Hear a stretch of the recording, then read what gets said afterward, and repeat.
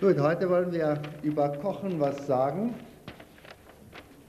Hier steht ja alles so rum und äh, ich soll euch etwas erzählen über Gesundheit. Ich erzähle euch genau, was ihr hören wollt. Irgendwas, was ihr haben wollt, das sage ich euch. Ähm, gesund leben ist nicht nur Essen und Trinken. Gesund leben ist hier auch oben im Geist. Und das ist erstmal wichtig. Wenn wir unser, unser Leben einstellen auf Essen und Trinken, dann wird es eine Katastrophe nachher. Also nicht nur an Essen und Trinken denken und nicht äh, stur eine Richtung einnehmen und sagen, naja, ich darf nie nach links und ich darf nie nach rechts. Denn sonst wird das zur Hölle. Vor allem, vor allem die, die un, um uns rum sind. Unsere eigene Familie und dann nachher wird man abgemacht als Fanatiker oder dies oder jenes. Essen und Trinken muss ein Lebensstil sein, ein gesunder Lebensstil und er kann viel Spaß machen, soll sogar viel Spaß machen. Und wenn mal etwas anders ist, was nicht ganz reinpasst, man hat bestimmte Richtlinien, zum Beispiel ich bin Vegetarier, ich weiß, dass wenn ich mal Fleisch essen würde, würde es mir gar nicht gut gehen. Also wenn ich eingeladen bin irgendwo, dann sage ich zu den Leuten, macht euch keine Sorgen, macht, was ihr immer macht. Äh, wenn ihr nichts dagegen habt, das Fleisch werde ich nicht essen. Oder ich vertrage kein Fleisch mehr, weil ich schon lange Vegetarier bin. Und dann, naja, dann esse ich so eben, was da anders ist. Und die meisten, meisten Leute geben sich viel Mühe. Und wenn da mal was drin ist, was ich normalerweise zu Hause nicht esse, so what? Äh, es steht schon geschrieben in einer äh, geistlichen Auseinandersetzung über dieses Thema. In Englisch heißt es, when you err, err on the side of the people. Kennt ihr das? Wisst ihr, was das heißt?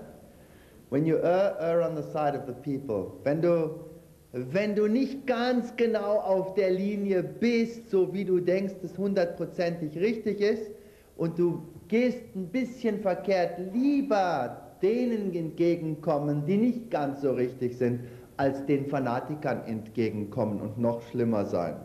Das ist eigentlich ein ganz guter Hinweis, denke ich. Äh, nicht jemand abschrecken, der sich viel Mühe gegeben hat. Wenn da jetzt die Schweinehaxe auf dem Teller liegt, dann sage ich, äh, wenn ich die esse, dann kippe ich aus dem Latschen. Habt ihr was dagegen, wenn ich die nicht esse? Und dann kommt da eben was anderes und dann sagt sie, ja, aber da ist ein bisschen was auch immer drin. Dann sage ich, sag's mir gar nicht, sonst, sonst, sonst muss ich es vielleicht auch nicht essen. Naja, Okay, nicht ganz so schlimm, aber vielleicht doch so schlimm. Wenn man sich umstellt auf einen gesunden Lebensstil, dann wie gesagt nicht nur die Ernährung. Wir haben eben gehört von New Start. Ihr wisst wahrscheinlich, was das alles heißt.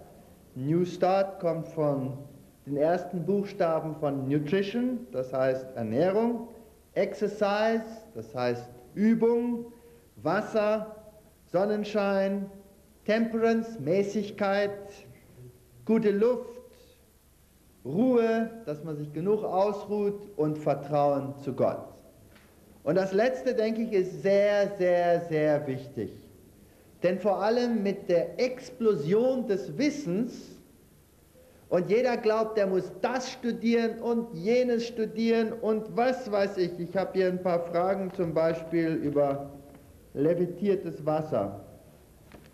Und äh, äh, Dr. Sowieso schreibt in seinem Buch Folgendes und äh, der andere schreibt wieder was anderes und der andere schreibt noch ein drittes und nachher kann man überhaupt gar nichts mehr essen. Ich war schon in einigen Häusern, da gibt es Regeln des Kochens an der Wand angebracht, so als aus Reformhäusern, diese Gesundheitstafeln. Habt ihr die schon mal gesehen? was alles zusammengeht und was nicht zusammengeht und was man meiden sollte und was man nicht meiden sollte. Habt ihr die schon mal gesehen? Na, dann braucht man einen Rechner, einen Computer und was weiß ich, einen Laborkittel und Laborgeräte, um überhaupt kochen zu können. Oder man kann überhaupt nichts mehr essen. Diese, diese ganzen Tabellen, die man so sieht, die machen mich verrückt. Die sind gut, um äh, das Feuer am Gang zu kriegen und so, aber sich dran zu halten. Ich denke, die Leute spinnen. Naja, Also es gibt so viele Richtlinien und dann auch hm, Gesetze.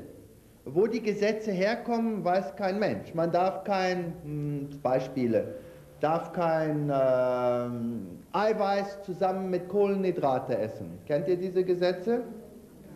Da war der liebe Gott sehr dumm, als er Weizen gemacht hat zum Beispiel, denn da sind Kohlenhydrate und Eiweiß zusammen drin. Dann war er sehr dumm, als er Hülsenfrüchte gemacht hat, denn da waren, was ist da drin?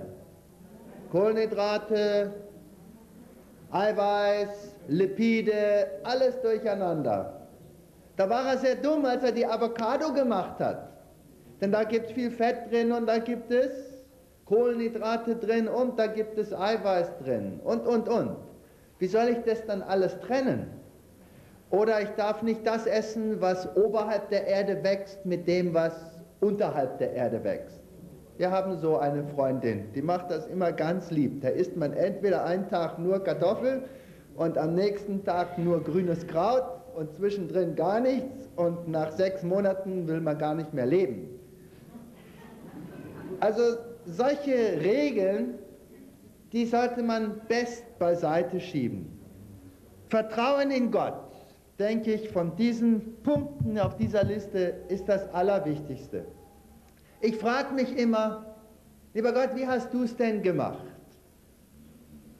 Zum Beispiel Wasser. Das Wasser kommt in dem Strom oder in den Bach vom Berg runter und dann wird es levitiert. Und nur von dem Levitierten zapfe ich mir etwas ab, so wie der liebe Gott das gemacht hat, und das trinke ich. Ja oder nein?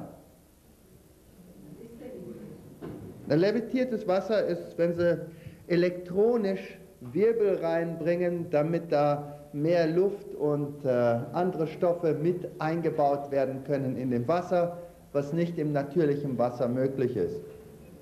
Ich frage mich, wenn der liebe Gott das haben wollte, dass ich nur levitiertes Wasser trinke, dann wie hätte er es gemacht, das Wasser?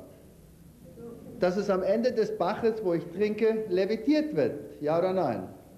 Und weil er es nicht so gemacht hat, denke ich, das normale Wasser ist wahrscheinlich gut genug, oder?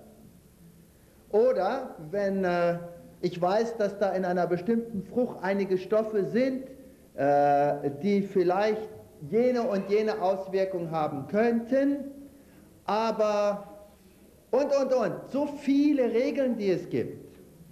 Wenn ich weiß, der liebe Gott hat diese Frucht doch gemacht zum Essen und zum Gutschmecken, sagen wir mal eine Pfirsich, oder was es auch immer ist. Ich vertraue in Gott, dass er schon richtig gemacht hat. Und wenn ich etwas auf dem Teller endgültig habe, was ich nach dem Besten von meinem Gewissen dahingelegt habe, das Vertrauen zu Gott, so ist es richtig, dann esse ich es und fertig. Und ich mache mir keine Sorgen, ob der, der Bauer irgendwo in Nordkanada, wo ich überhaupt nichts von dran tun kann, ob der das jetzt auch richtig gemacht hat. Hat er das auch wirklich ganz biologisch gezeugt? Ist da nichts drin, was nicht drin sein darf? Und ich mache mir solchen Kummer und solche Sorgen über diesen Bauer, der da irgendwo ist, wo ich nichts dran tun kann, dann kann ich doch das Essen nicht genießen nachher. Und so sind so viele Leute, sie haben so viele Regeln im Kopf, dass sie überhaupt nichts mehr genießen. Das ganze Leben wird danach gerichtet. Also gut kochen, nach den einfachsten Methoden das glauben, was, dass Gott es schon richtig gemacht hat, als er die Nahrung, die er für uns geschaffen hat, zum Essen gemacht hat. Und äh, dann braucht man keine Sorgen sich mehr machen.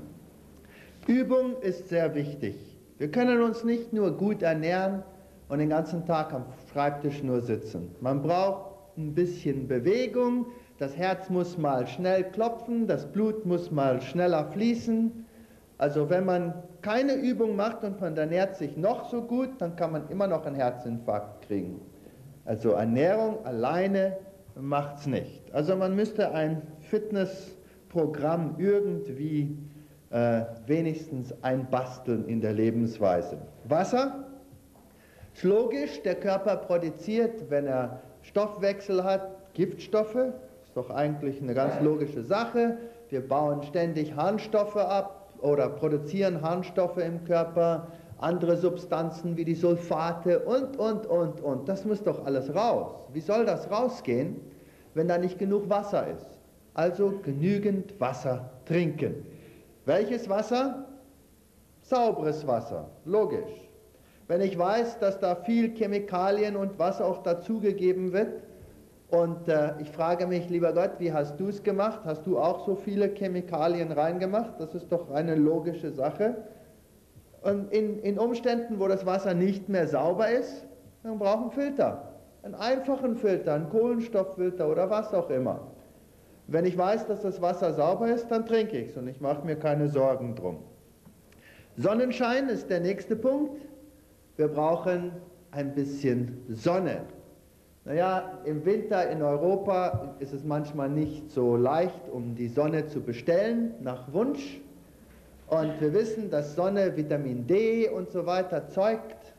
Und für kleine Kinder vor allem, die wachsen. Wenn ich weiß, dass da ein Problem ist, und die Wissenschaft hilft ja auch dabei, dass da ein Problem ist, nicht genug Sonne, dann ein bisschen Vitamin D in der Nahrung als Zusatzstoff nehmen. Das wäre logisch.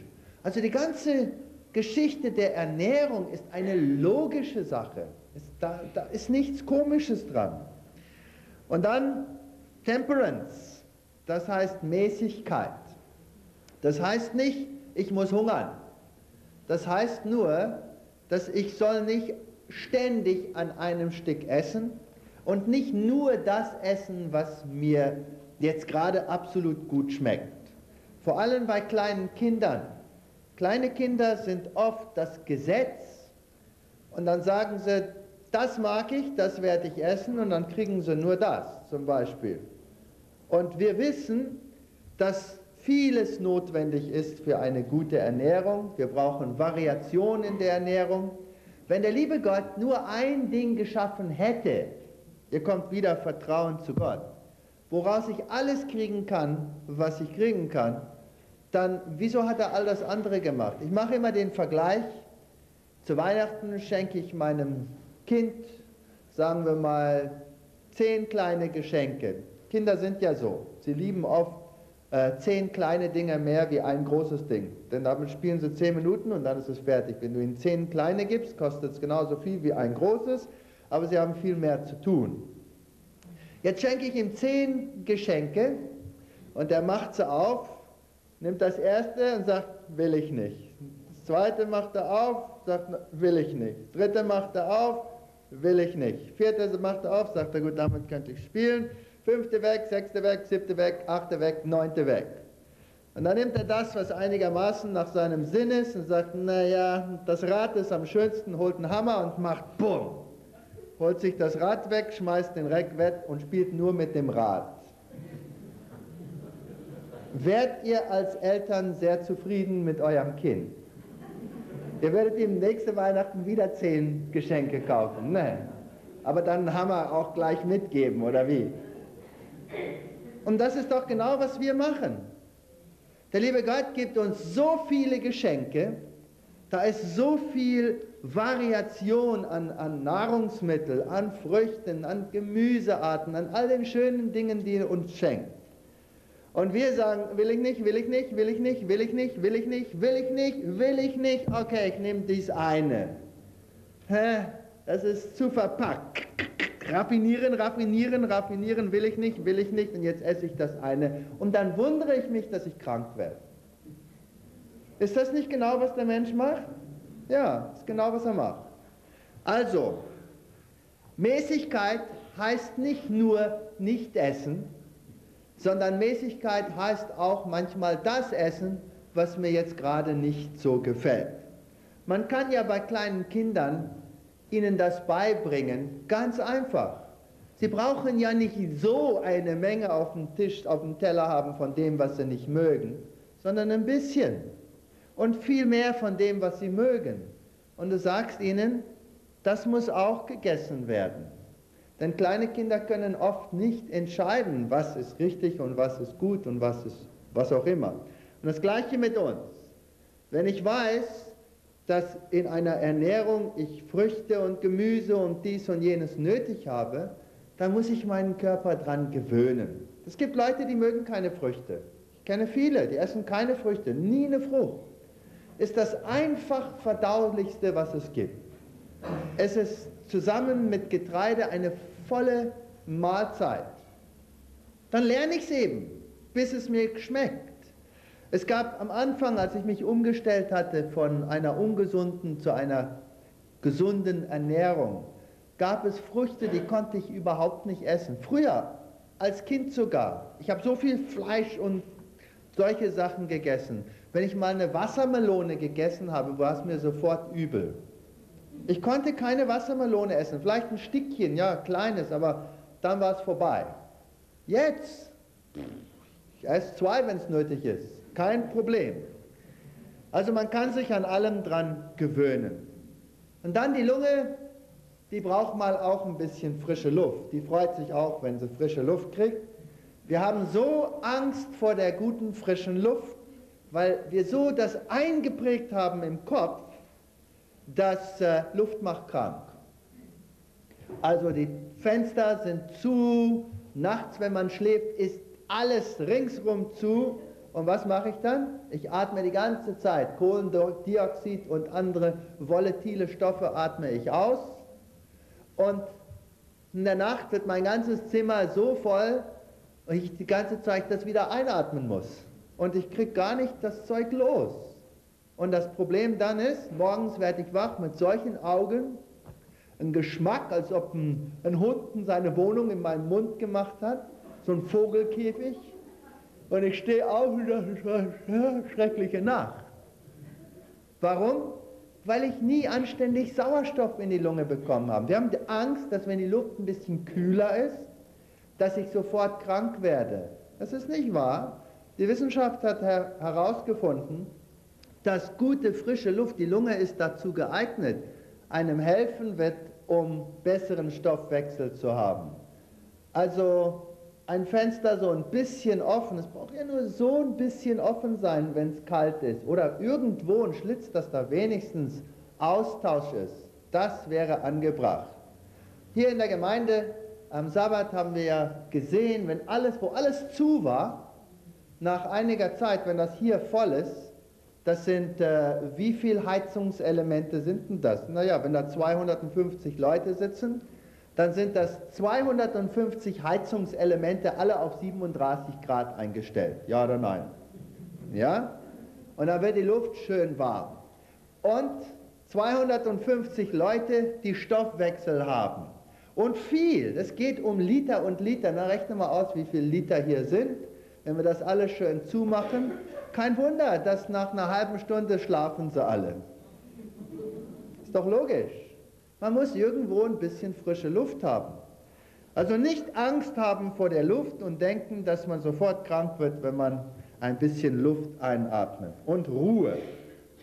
In unserer stressigen Zeit heutzutage ruhen wir alle zu wenig. Ich glaube, da ist keiner, der sich 100% an diesen Richtlinien festhalte. Wenn ich mir die Richtlinien ansehe, hm, ich sündige bei sehr vielen.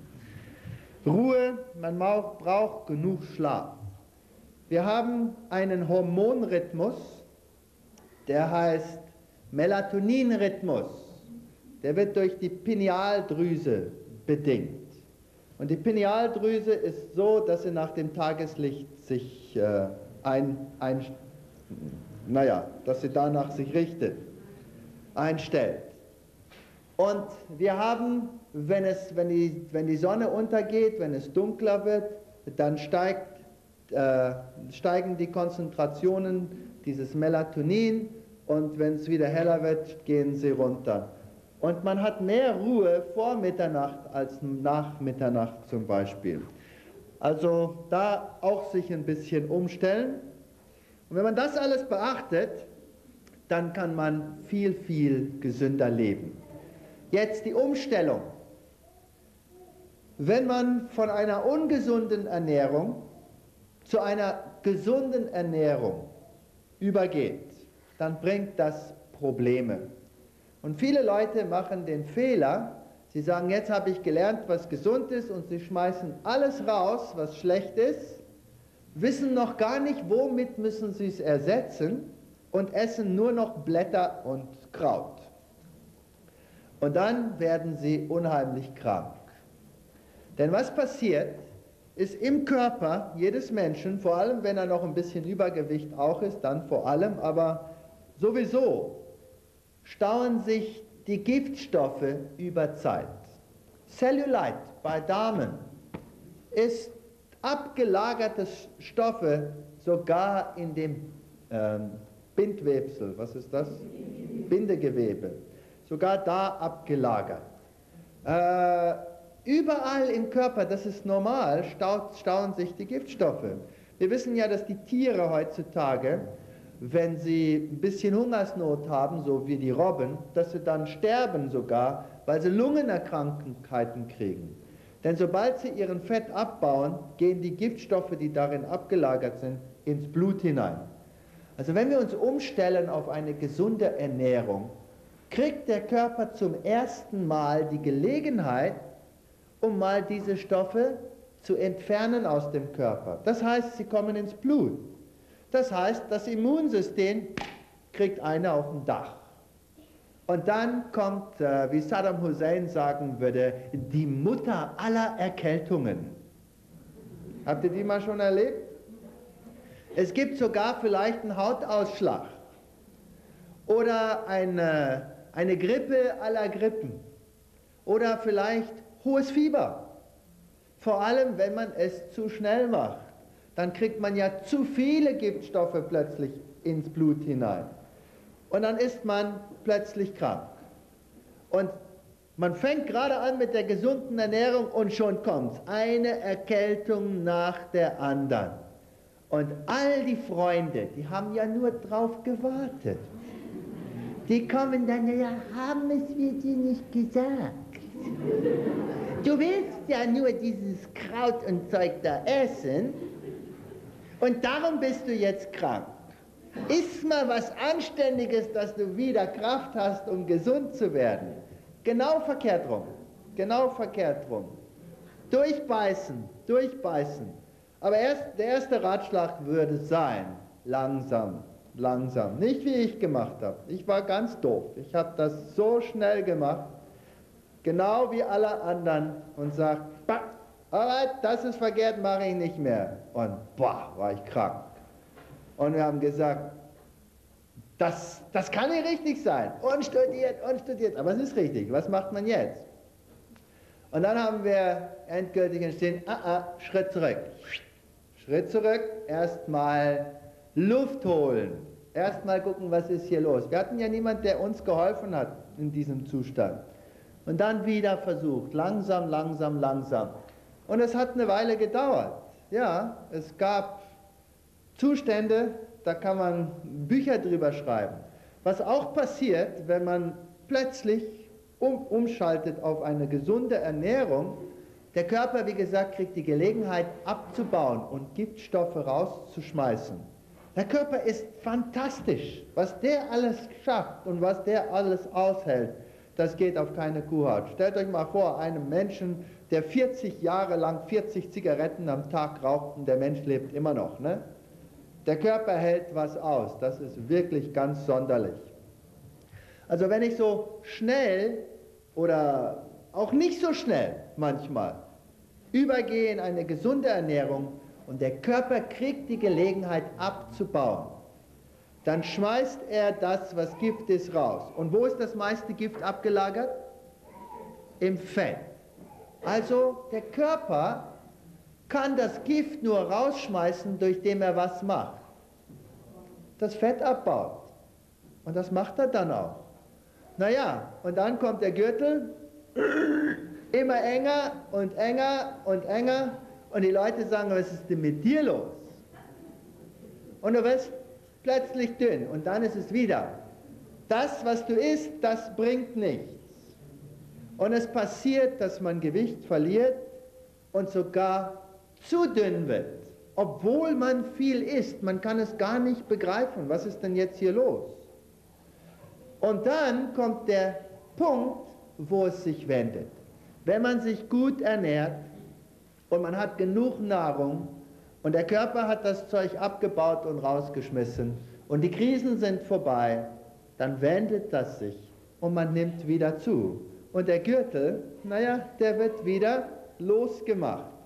Und man passt auch wieder in die alten Kleider. Also nicht gleich all die alten Kleider immer wegschmeißen, aufbewahren und sagen, naja, in ein paar Monaten passe ich vielleicht wieder rein. Also das ist noch so etwas, das man durchmacht, wenn man äh, sich umstellt.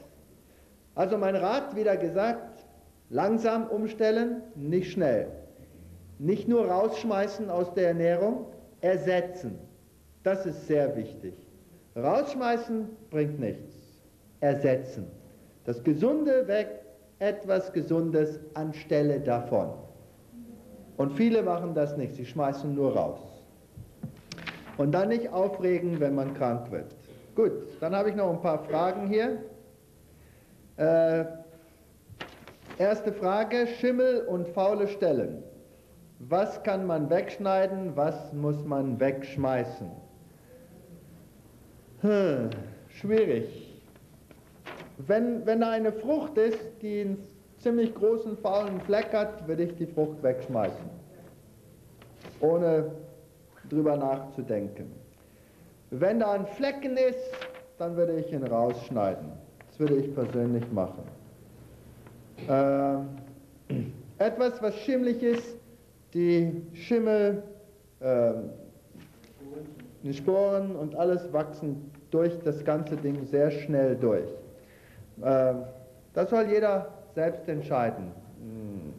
Meist würde man, wenn es, wenn es ein größerer Fleck ist, wegschmeißen. Die Frage über levitiertes Wasser.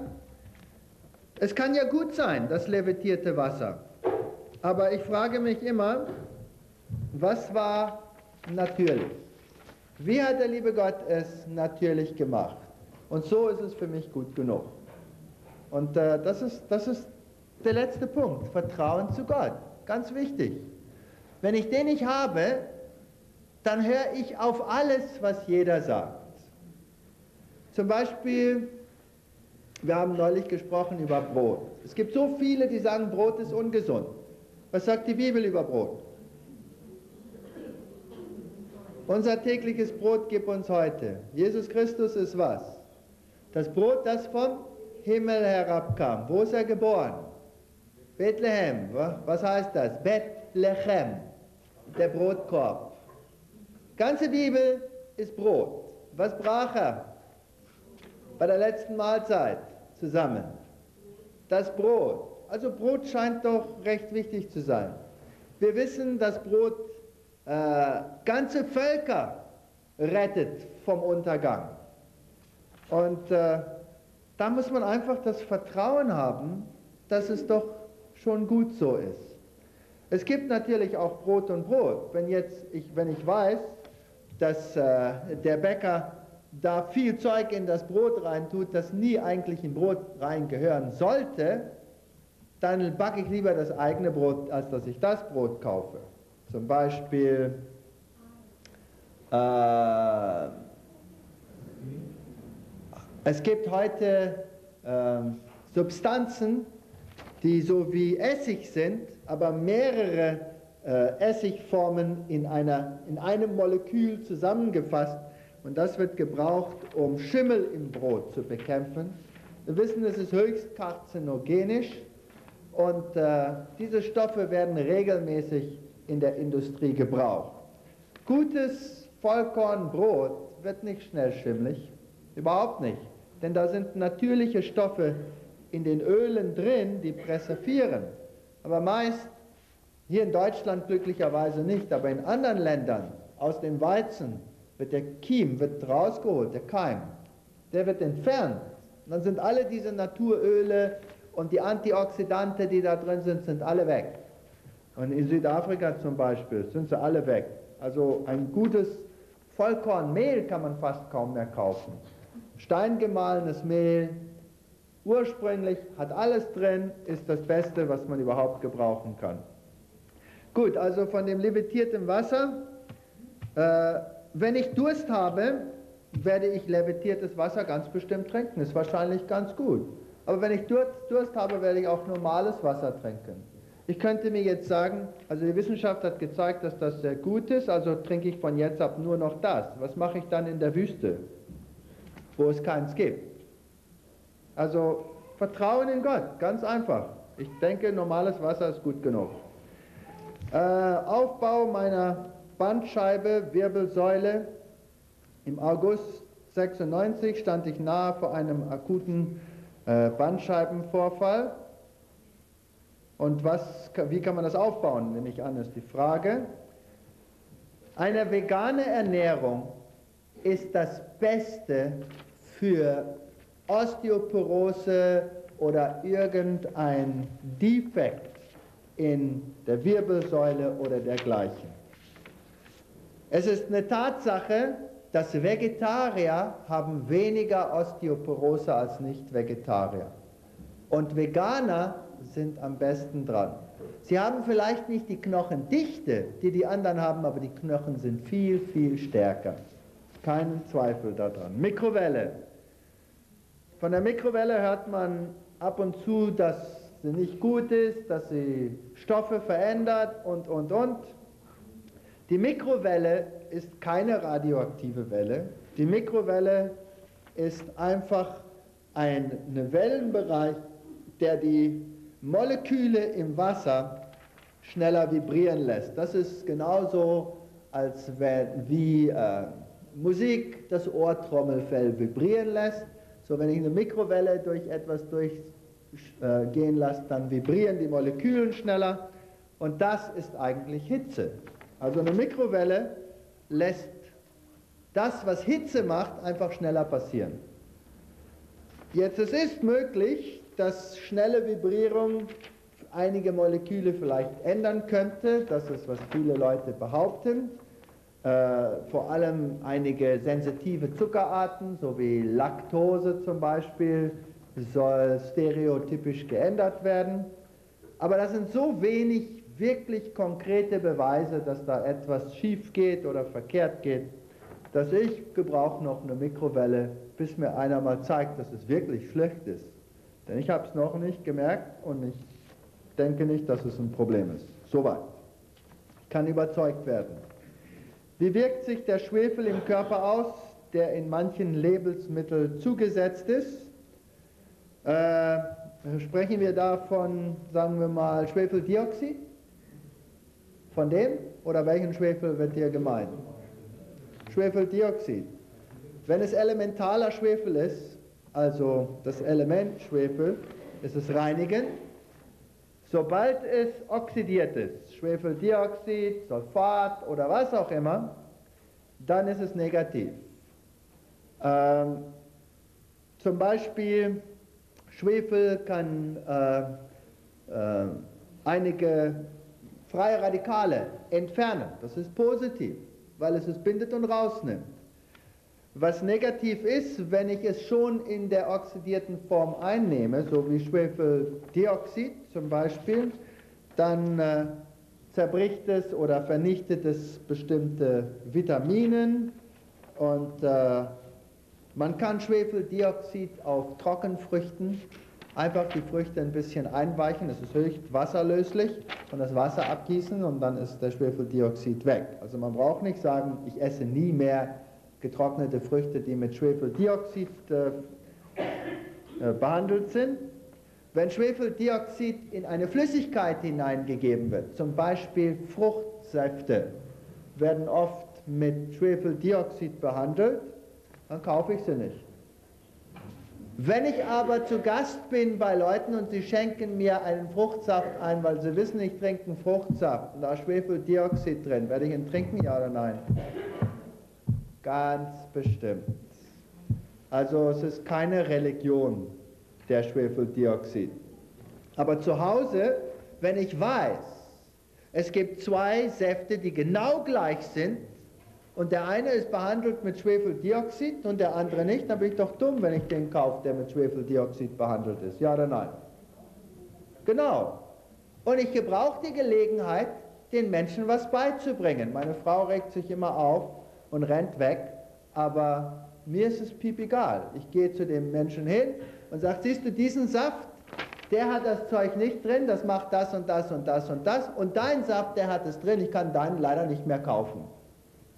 Und dann steht er da ganz bedäppt und vielleicht in zwei, drei Wochen oder einem Monat hat er auch einen ohne. So lernt man nämlich. Oder ich gehe zum Supermarkt und stelle mich vor das Regal und lasse den, den Manager kommen und frage ihn, äh, wo ist deine Erdnussbutter? Und dann sagt er, da ist sie doch, vor deinen Augen, was ist denn los mit dir? Ich sage, ich will nicht Zutatstoffe haben, dann sage ich ihm, was die alle machen. Und dann nenne ich ihm die Marken, die es nicht drin haben und sage, warum sind die nicht hier? Dann kann ich wenigstens Erdnussbutter kaufen, wenn ich Erdnussbutter kaufen will. Und nächstes Mal stehen sie da. Kein Problem. Ja, bisschen frech sein. Gewürze wie zum Beispiel Beispiel Muskat, Zimt, wie schädlich sind sie, sollte man sie besser meiden. Einige Gewürze enthalten äh, Alkoholide und das sind Stoffe, die schädlich sind.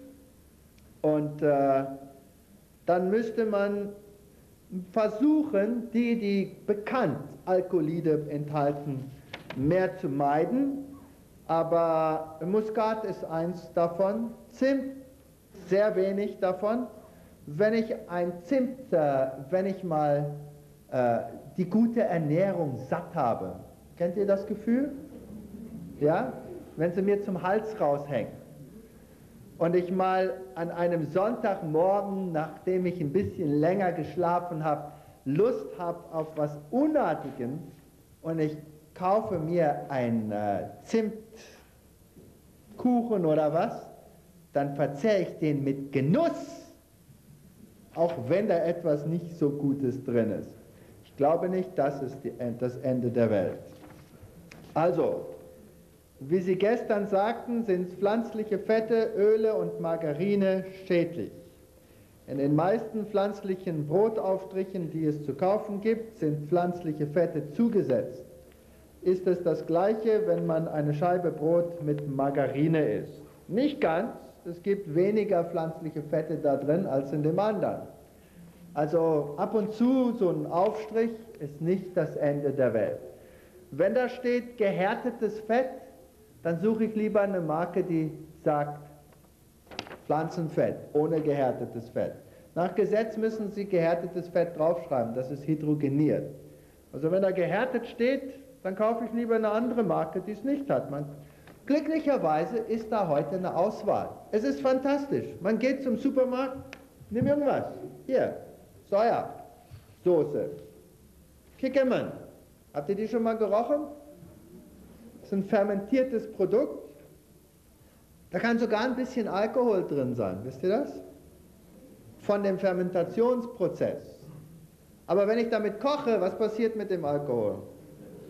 Der ist weg, denn der kocht bei 80 Grad und ich koche bei 100 Grad. Also kein Problem, weg ist er.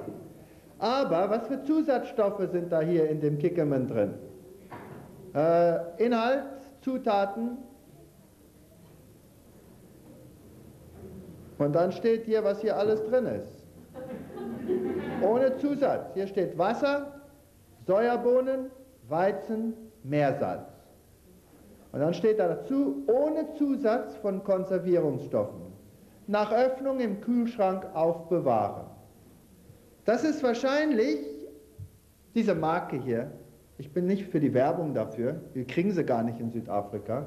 Eins der schmackhaftesten, die es auf dem Markt gibt. Und jetzt gibt es zehn andere auf dem Markt, die haben alle Konservierungsstoffe drin. Ähm, Natriumsorbat, wie sie auch alle heißen, Sodium Benzoat, Natrium Benzoat, die haben alle diese Stoffe drin. Jetzt bin ich doch nicht dumm. Wieso soll ich die kaufen? Das ist wieder so eine typische äh, Leersituation. Kein Kickermann auf dem Schrank, her mit dem Mann. Wo ist deine Sojasauce? Ja, da steht sie doch, aber das Gift will ich doch nicht haben. Wo ist die gute Marke, die diesen Quatsch da da nicht drin hat? Und dann sage ich ihm, was das alles macht und nächstes Mal ist die Kickermann-Soße wieder da. Kein Problem. Und einige andere auch. Also, kauft die Marken, wenn ihr mal einen Aufstrich haben wollt, die nicht die gehärteten Sachen drin hat Und wenn ich zu Gast bin bei Frau Witwe Bolte und sie gibt mir einen Aufstrich und da sind gehärtete Stoffe drin, was mache ich mit ihm? Ich verzehr ihn mit Genuss und sage vielen Dank, Witwe Bolte. Ich weiß, Max und Moritz haben die Hühner geklaut und das ist teuer für dich gewesen, das lieb von dir. Naja. Äh, wie steht es im Vergleich mit Butter, die Margarine? Ich bin immer ganz frech. Ich sage, es kommt darauf an, wie du sterben willst. Wenn es schnell sein soll mit dem Herzinfarkt, dann bleibt bei der Butter. Wenn es langsam sein soll mit einer anderen Krankheit, so wie Krebs, dann bleibt bei der Margarine. Am besten ist es, nicht eins von beiden zu gebrauchen und Ersatz zu gebrauchen, der gesund ist. Äh, Avocado als Butter ist herrlich. Und äh, es ist vielleicht ein bisschen teurer, aber was man da spart, das gibt man woanders immer aus. Ist es nicht so? Zum Beispiel, äh, wenn es mal hier rumgeht. Was kosten die? 13 Mark das Kilo. Cashews. Cashew, die gebrochenen, die kaputten. Kann man sie kriegen für 13 Mark ein Kilo? Okay. Und was kostet Huhn pro Kilo? Hühnchen pro Kilo. Wenn man ein Huhn kauft im Supermarkt, was kostet das pro Kilo? Ihr seid lieb, ihr wisst gar nicht. Ich bin ja ganz stolz auf euch. Wir sind ja nur die Bekehrten heute hier. Ungefähr, was kostet Huhn pro Kilo? 5 Mark. Okay, sagen wir 5 Mark. Also die Nuss ist ja so viel teurer wie das Huhn. Ist ja schrecklich. Frage.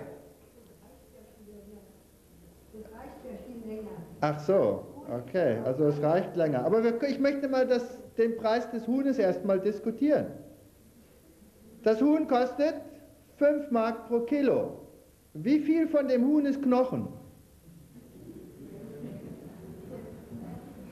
Wie viel? Wenn du all die Knochen rausholst und tust du dahin und du hast das Fleisch rausgeholt, normalerweise hast du so ein bisschen Fleisch, so einen Haufen Knochen, ja oder nein? Aber komm, wir sind ja ganz lieb und machen es genau gleich. Es ist nicht genau gleich, aber wir machen mal, ob es genau gleich ist. Dann ist es 50-50. Was macht ihr mit den Knochen? Die isst ihr, ja oder nicht? Okay, weggeschmissen. Was kostet das Fleisch? Es kostet jetzt schon 10 Mark pro Kilo. Gut. Wie viel von dem Fleisch ist Wasser?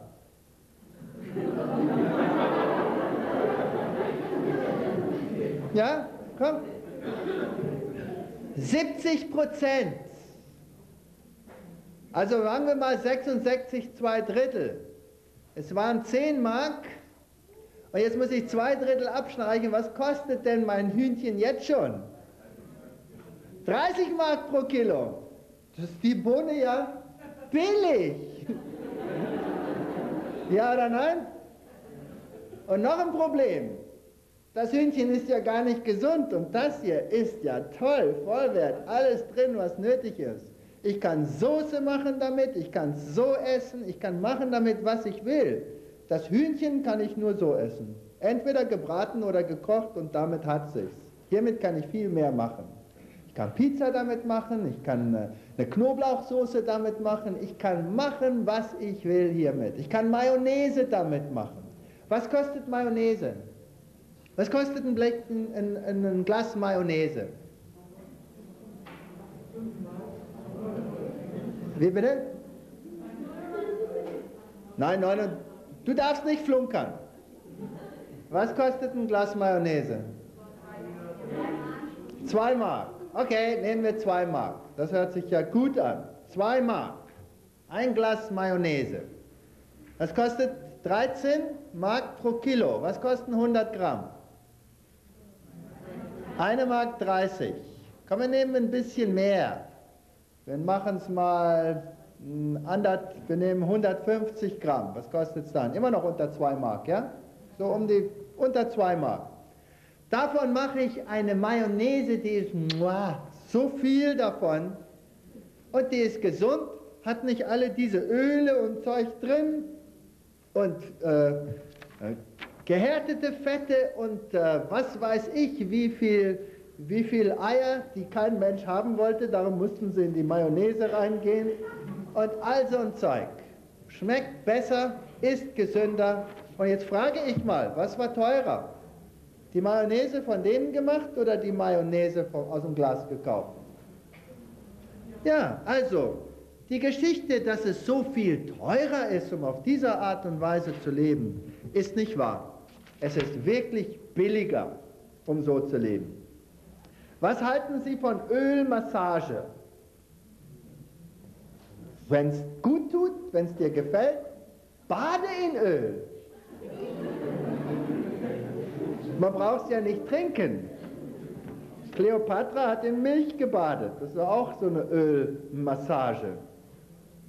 Die Frauen fühlen sich danach wohl und wenn sie sich wohlfühlen, sind sie viel einfacher, um zusammen mit ihnen zu leben. Also Ölmassage. Honig, Kartoffeln, das Eiweiß der Hülsenfrüchte durch Kochen denaturiert. Das Eiweiß wird denaturiert durch Kochen. Ja, das wird denaturiert, aber als was? Es ändert sich, es wird denaturiert. Werden die Aminosäuren vernichtet durch Kochen, ja oder nein? Nein. Also, das ist doch kein Problem. Kartoffeln, es wird sich was ändern beim Kochprozess, das haben wir alle schon gemerkt. Eine gekochte Kartoffel schmeckt ganz anders als eine rohe, ja oder nein? Also etwas hat sich geändert. Aber die gekochte Kartoffel ist leicht verdaulich und leicht aufzunehmen, die Nahrung da drin. Manchen einige regen sich auf, weil da von den Vitaminen jetzt einige zerstört sind bei dem Kochen. Sechs von dem einen, halbes Dutzend von dem anderen, sagen die Engländer. Six of one, half a dozen of the other. Weißt ihr, was das heißt? Was man hier verliert, gewinnt man da. Also ich mache es leichter verdaulich, leichter zu verarbeiten. Brot zum Beispiel, Getreide, das gekocht ist, Getreide, das gebacken ist, ist viel leichter verdaulich. Der Körper geht viel leichter damit um. Substanzen, die Enzyme unterdrücken, sind weg. Also ich kriege viel mehr Nahrung daraus. Jetzt habe ich drei Vitaminchen ein bisschen zerstört. Jetzt will ich das ganze Gute, was ich gewonnen habe, wegschmeißen wegen den drei Vitaminchen, die ein bisschen gestört sind, ja oder nein? Die kriege ich doch anderswo. Wenn ich jetzt nur mich von dem einen ernähren würde, dann wäre das ein Problem. Aber wir sind ja nicht so. Wir nehmen ja die zehn Geschenke, die der liebe Gott uns gegeben hat, und spielen mit allen, oder nicht? Also das ist kein Problem. Ähm, welche sind die Voraussetzungen, um eine Speise zuzubereiten, ohne dass die Nährwerte dabei nicht zerstört werden? Zum Beispiel Gemüse und Fleisch. Naja, da müsste man alles roh essen, das Fleisch auch. Und äh, viele Leute tun das ja. Dann wäre nichts zerstört, aber einiges könnte ich überhaupt gar nicht verdauen. Es ist nicht wahr, dass nur rohes unbedingt das Beste ist. Einige Substanzen, die wir essen, so wie zum Beispiel die Kartoffel, wie zum Beispiel Getreide, wie zum Beispiel Hülsenfrüchte, sind viel verdaulicher gekocht als roh. Wenn wir Sprossen machen, wird es auch viel verdaulicher. Also Sprossen ist verdaulicher, Kochen ist verdaulicher. An einem kalten Tag eine warme Mahlzeit ist positiv für den Körper. Wenn er noch Hitze draus ziehen muss, um das Kalte auch noch zu verdauen, ist problematisch für den Körper. Wir brauchen beides in der Ernährung. Wir können gekochtes essen und rohes Essen. Wir essen viel Früchte, Salate, in unserem Haus zum Beispiel viel Früchte, viel Salate, da ist viel Rohes bei. Ein Salat kann auch mal gemacht werden mit, mit äh, rohem Gemüse, das ist kein Problem. Aber das heißt nicht, dass ich das Gekochte äh, nicht essen soll. Denn vieles, was gekocht wird, wird viel verdaulicher. Vielseitigkeit in der Ernährung ist das Beste, was man machen kann. Dann hat man von allem was. Und dann noch eine Frage, ist Truthahnfleisch auch gefährlich und macht krank? Ich habe keine gute Nachricht, wenn es kommt zu dem Geflügel und dem Geflatterten und dem Gefischten und dem Vierbeinigen dieser Welt in unserer heutigen Zeit. Das Beste ist, wir suchen das Beste aus solchen Sachen zu bekommen und äh, einen anderen Ausweg scheint es nicht zu geben. Das Bruthähnchen leidet an den gleichen Qualen des Hühnchens, wenn ich es so sagen darf. Gut, ich denke, jetzt können wir übergehen zum. Ja, Fragen? Es heißt doch auch, es ist das für den Menschen oder ich sage mal am besten, das, was bei ihm wächst, nicht das auf anderen Erdteilen wächst. Gut. Das, was für den Menschen am besten ist, ist das, was bei ihm wächst. Das sagen, ja, das sagen viele Leute. Vor allem, weil die Menschen sich gewöhnen an eine bestimmte Ernährung. Okay? Ähm, ich weiß nicht, ob ich hundertprozentig mit so einer, äh, mit so etwas mich übereinstimmen könnte. Zum Beispiel, ich komme jetzt aus Afrika, jetzt bin ich hier. Jetzt müsste ich eigentlich, wenn das wahr wäre, meine Mahlzeit aus Afrika importieren, ja oder nein? Nicht, aber so ungefähr kann es nachher werden. Früchte sind sehr leicht verdaulich. Und heute haben wir die Gelegenheit, um Früchte aus allen Weltteilen zu uns zu nehmen. Und wir können, weil der Markt offen ist, weil äh, es möglich geworden ist, um die Sachen zu transportieren, schnell und gut, denke ich, ist es kein Problem, um von der Variation, von der Speisekarte Gottes, die es in der Welt gibt, zu genießen. Das Problem mit einer, mit einer Umgebung so wie heute, wenn man abgeschlossen ist, ist, dass man eigentlich sehr beschränkt ist. Und früher war es vielleicht unmöglich, um ohne Milch und Eier und solche Sachen zu überleben. Denn das andere, was eigentlich das ergänzen könnte, war nicht da. Man konnte es nicht kriegen, bestimmte Jahreszeiten. Heute ist das anders. Wir können alles kriegen. Wenn es nicht gerade jetzt da wächst, dann kann es importiert werden. Und somit ist es möglich, um das nicht so Gesunde beiseite zu legen und das Gesunde dazu zu nehmen. Also wenn wir die Philosophie haben, ich esse nur, was aus meinem Bereich kommt, dann kann ich das nicht machen dann wäre ich vielleicht manchmal besser dran, bei dem Ungesunden zu bleiben, damit ich wenigstens alles, was ich nötig habe, kriegen kann. Also ich habe kein Problem mit importierten Früchten. Je mehr, je besser. Je mehr variiert, je besser. Ja? Ich habe eine Frage mal zum Obst. Und zwar wissen wir doch, dass das Obst heute viel zu früh von den Bäumen weggenommen wird, um exportiert zu werden oder importiert zu werden. Ja. Äh, ich denke, äh, beziehungsweise ich habe die Erfahrung gemacht, dass das Obst heute fast alles gleich schmeckt. Ja, Aprikose zum Beispiel ist ein typisches Beispiel. Schmeckt. Ja, nicht mehr so eine Aprikose wie vor 20 Jahren. Ich nenne das Endzeitfrüchte, ja. ja. Schmeckt wie abgeleckte Fensterscheibe.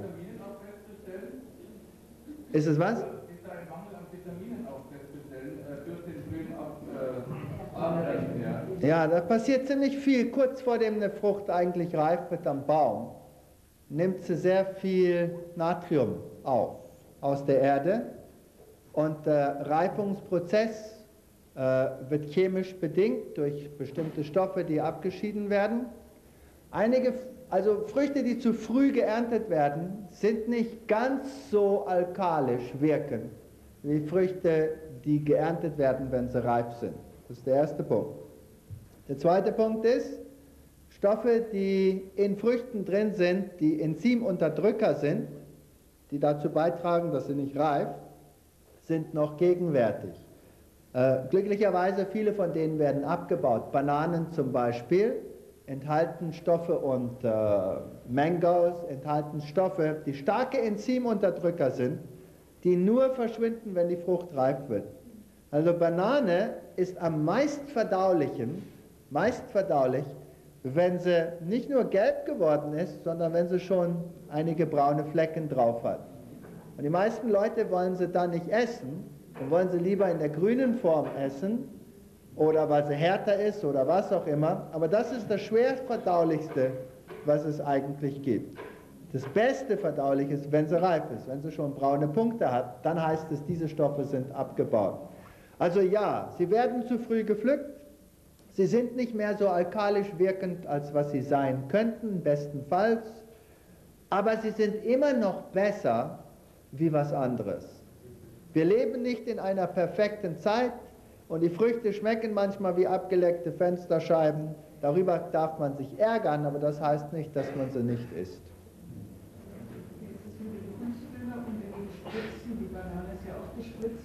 Kunstdünger und gespritztem. Kunstdünger, wie gesagt, ersetzt Mineralstoffe und dergleichen, äh, die ausgelaugt sind und auch äh, Stickstoffprodukte, die ausgelaugt sind.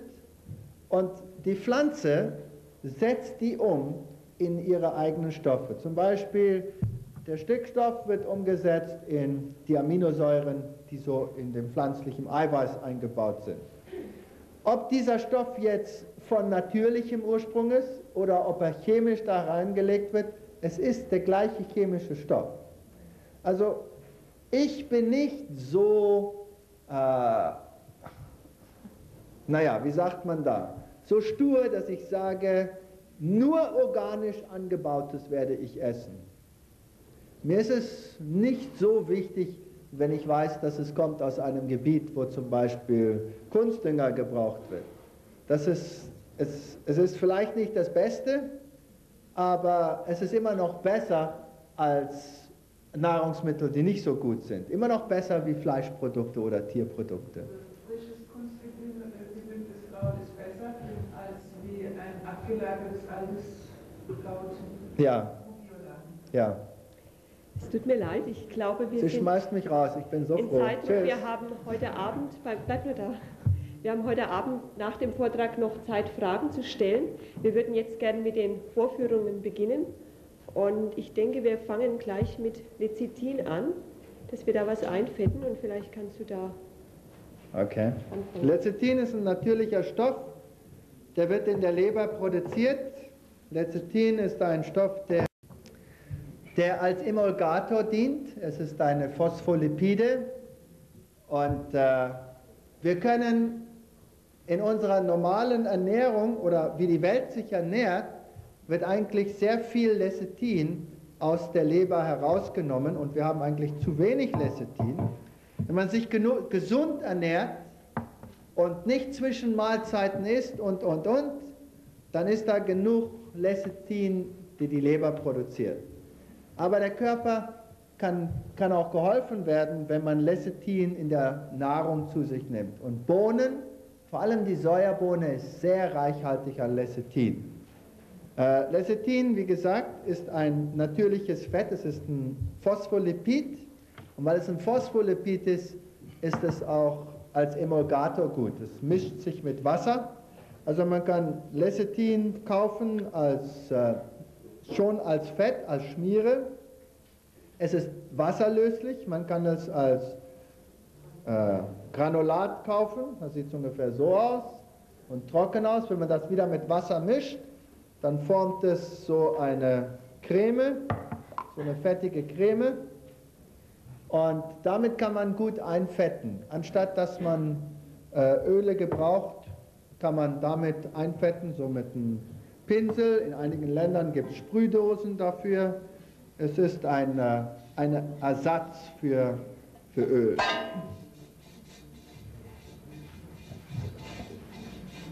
Ich kaufe hier zu Hause einen größeren und sage, dann kannst du das Haus anstreichen. Wenn du das kannst, kannst du das ja auch machen, oder?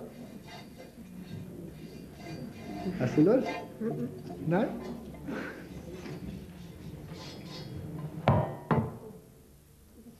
Ich bin fertig, ich kann gehen. Ach, toll. Ja.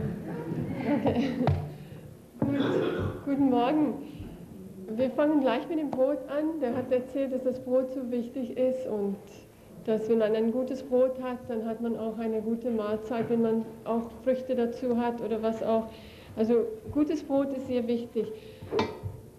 Ähm, eine, ein, wie sagt man, eine Fehllehre, fe- äh, verkehrtes Denken manchmal, denken Leute, dass man sehr viel dazu tun muss, dass es sehr gesund ist, das braucht man nicht. Man braucht nur einfach, ganz einfaches Rezept und dann kann man auch ein bisschen dazu tun, aber je mehr man dazu tut, desto ähm, schwerer und fester wird das Brot und dann ist es auch nicht mehr so genießbar. Okay, wir fangen also an.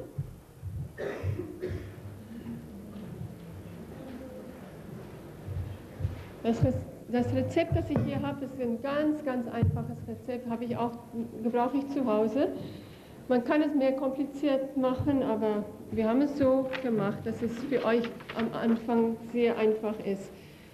Man nimmt ein Kilo, wenn ihr, habt ihr die Rezepte bei euch, ja?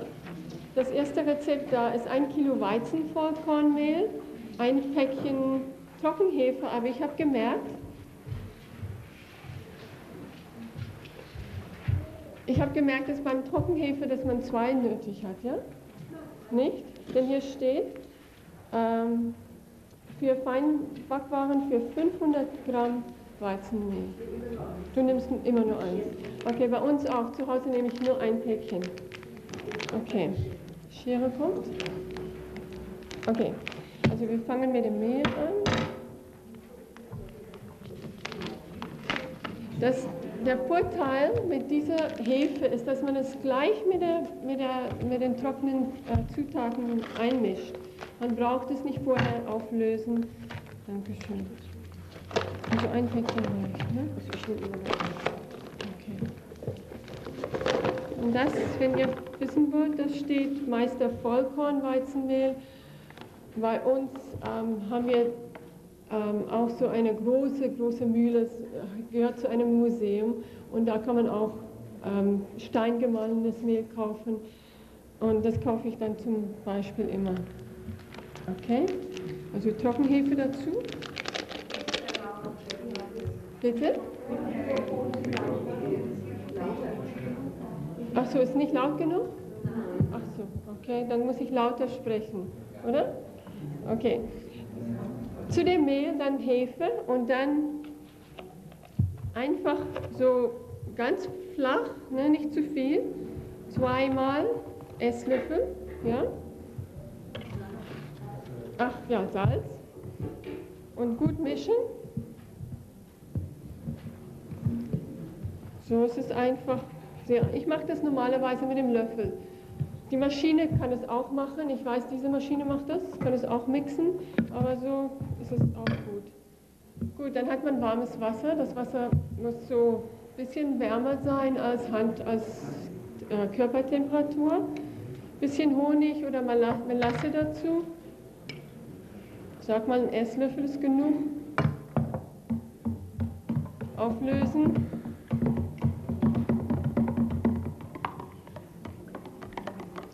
Man braucht etwas Süßiges, damit äh, es gärt, damit die, äh, das Hefe gärt. Okay, mein Deutsch.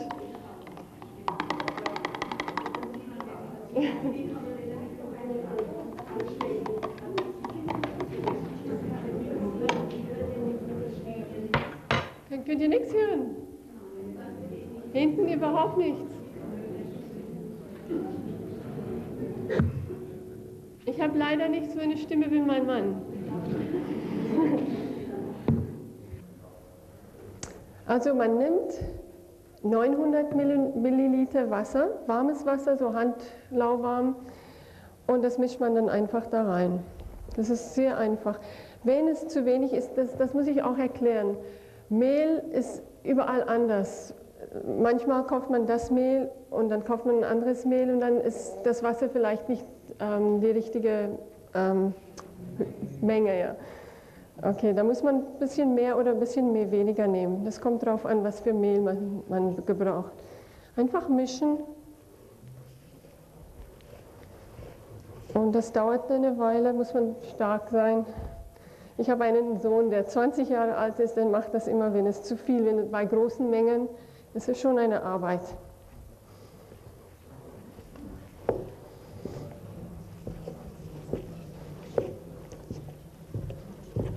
Und da merkt man, dass es Vollwert ist. Man sieht sofort die Farbe zum Beispiel. Ne? Das ist nicht so weiß, es ist Vollwert. Jetzt kann man das auch mit Wasser, mit äh, die Hände nass machen und mit Wasser dann bisschen weiter bearbeiten. Aber das will ich jetzt nicht.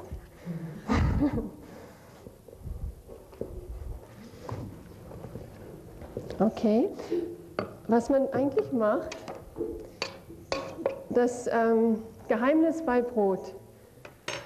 Es muss gut vermischt sein, damit Kleie, ist das richtig? Dass es rauskommt, damit es gummiartig wird. Ähm, und es muss gut aufgehen können. Das ist das Geheimnis. Wenn das Brot zu fest ist und gar nicht genug Kleie drin hat, dann Gluten. Sagt ihr auch Gluten? Ja? Was ist Kleie denn? Okay, also Gluten. Das muss, von dem Gluten muss es dann so gummiartig werden, so zum Beispiel. Dann sieht man, dass es genug drin. Bei Roggenmehl zum Beispiel ist nicht genug Gluten drin. Da muss man immer Weizenmehl dazu tun, sonst geht das überhaupt nicht. Okay. Das können wir dann hinstellen. Das wird jetzt auf beiseite gestellt für eine halbe Stunde ungefähr. Es geht hoch. An einer warmen Stelle muss es sein und dann kann man nach halber Stunde macht man, formt man das. Das kann ich dann in der Küche machen und euch dann zeigen nachher, wenn es aufgegangen ist. Und dann tut man das in die Pfanne und dann lässt man noch einmal hochgehen bis ungefähr hier. Und dann wird es nochmal aufgehen, noch 20 Minuten oder so, und dann geht es in den Ofen. Also das kann ich dann nachher machen. In der Zwischenzeit denke ich, muss Walter kommen. Ja? Ja. Muss ich so, sofort die Patties machen, okay? Das können wir hinstellen.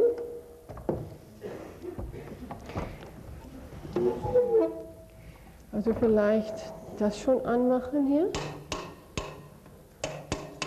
Okay, das nächste Rezept, das wir hier haben,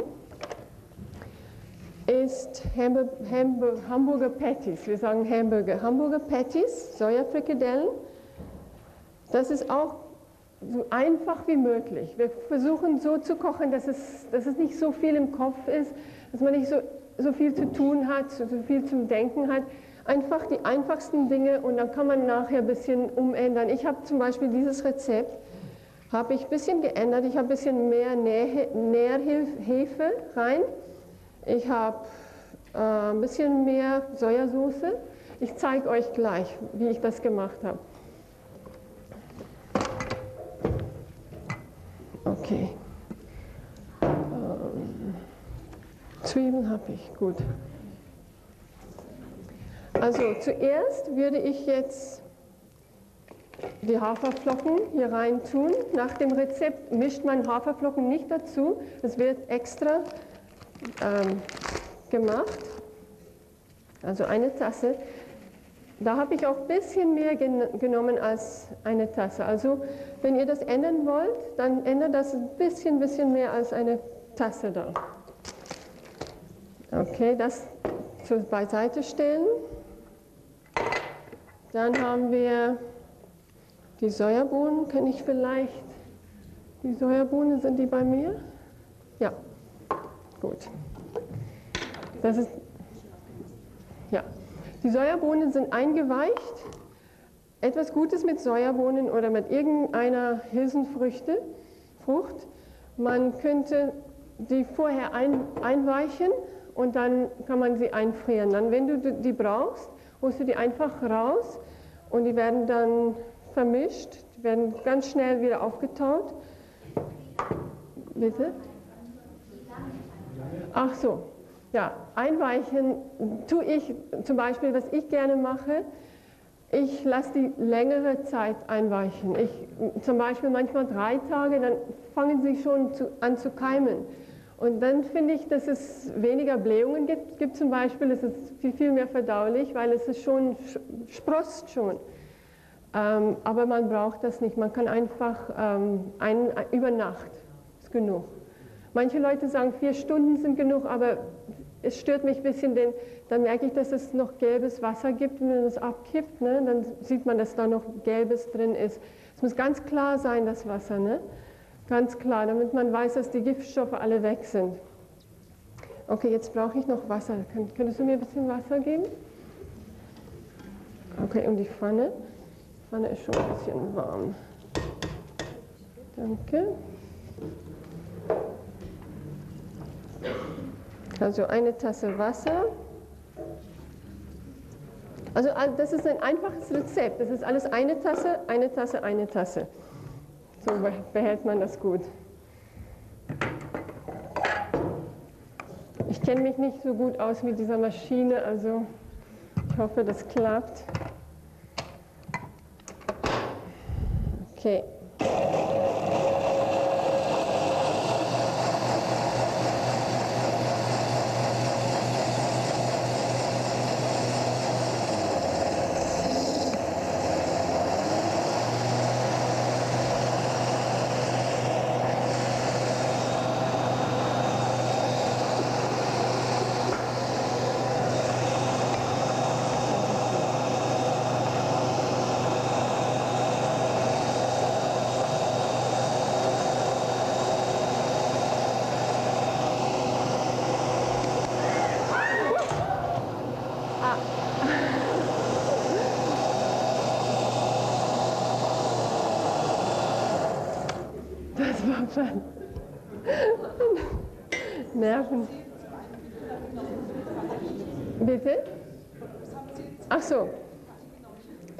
Für die Pfanne habe ich einfach diese Lecithin, das hat die Petra gemacht, einfach von den ähm, Trockengranulat hat sie mit Wasser vermischt und dann gibt es so nachher so eine, okay. Okay. Ihr habt gemerkt, dass es ganz schnell geht. Die Sojabohnen, ich kann vielleicht zeigen, wie es aussieht. Ja, die kommen noch. Ich will nur vielleicht zeigen, dass es ganz schnell kaputt geht. Und das ist, Walter könnte auch vielleicht erklären, der versteckt sich. Dass, dass es viel mehr verdaulich ist, wenn es fein gehackt ist. Ne? Okay, jetzt die Gewürze. Ich, hab, ich war ein bisschen großzügig mit Majoran, denn ich mag das. Also so, sag mal so zwei Teelöffel Majoran. Da kann man rumspielen. Da kannst du irgendwas reintun, was dir, was dir schmeckt. Ähm, nee. Was habe ich noch da? Kräuter, so gemischte Kräuter, italienische Kräuter, schmecken auch gut. Dann ein Teelöffel. Ähm, Knoblauchzehe. Darf ich ein Messer haben vielleicht? Ach, ist auch nicht nötig. Es geht schon. Danke. Knoblauchzehe.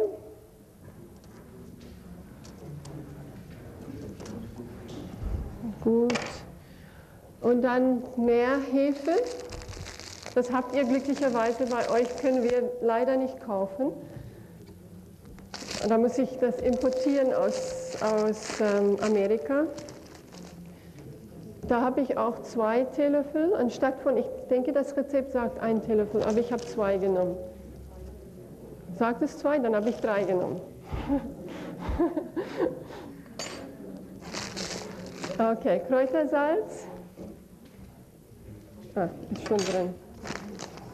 Kräutersalz, bisschen es ist, man braucht viel mehr Kräutersalz als normales Salz, also ein bisschen mehr, so ein Teelöffel voll. Äh, was brauchen wir noch? Zwiebeln. Die Zwiebeln habe ich so ein bisschen, ein bisschen kaputt gemacht, so dass es leichter geht. Also das ist eine halbe Zwiebel. Was ich da mache, ich mache das ganz zum Schluss jetzt, damit es nicht ganz, ganz fein gehackt ist, dass keine Stückchen noch drin sind. Haben wir noch was vergessen? Nein? Ach, Sojasauce, genau. Die Sojasauce. Da war ich auch ein bisschen großzügiger. Ähm, da steht ein Esslöffel, also ich habe zwei Esslöffel genommen.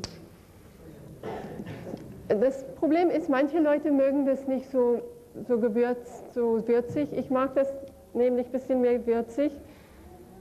Also du musst machen, wie, wie es dir schmeckt. Zwei. Okay, jetzt machen wir weiter.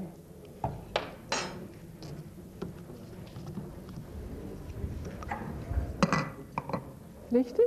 Ja.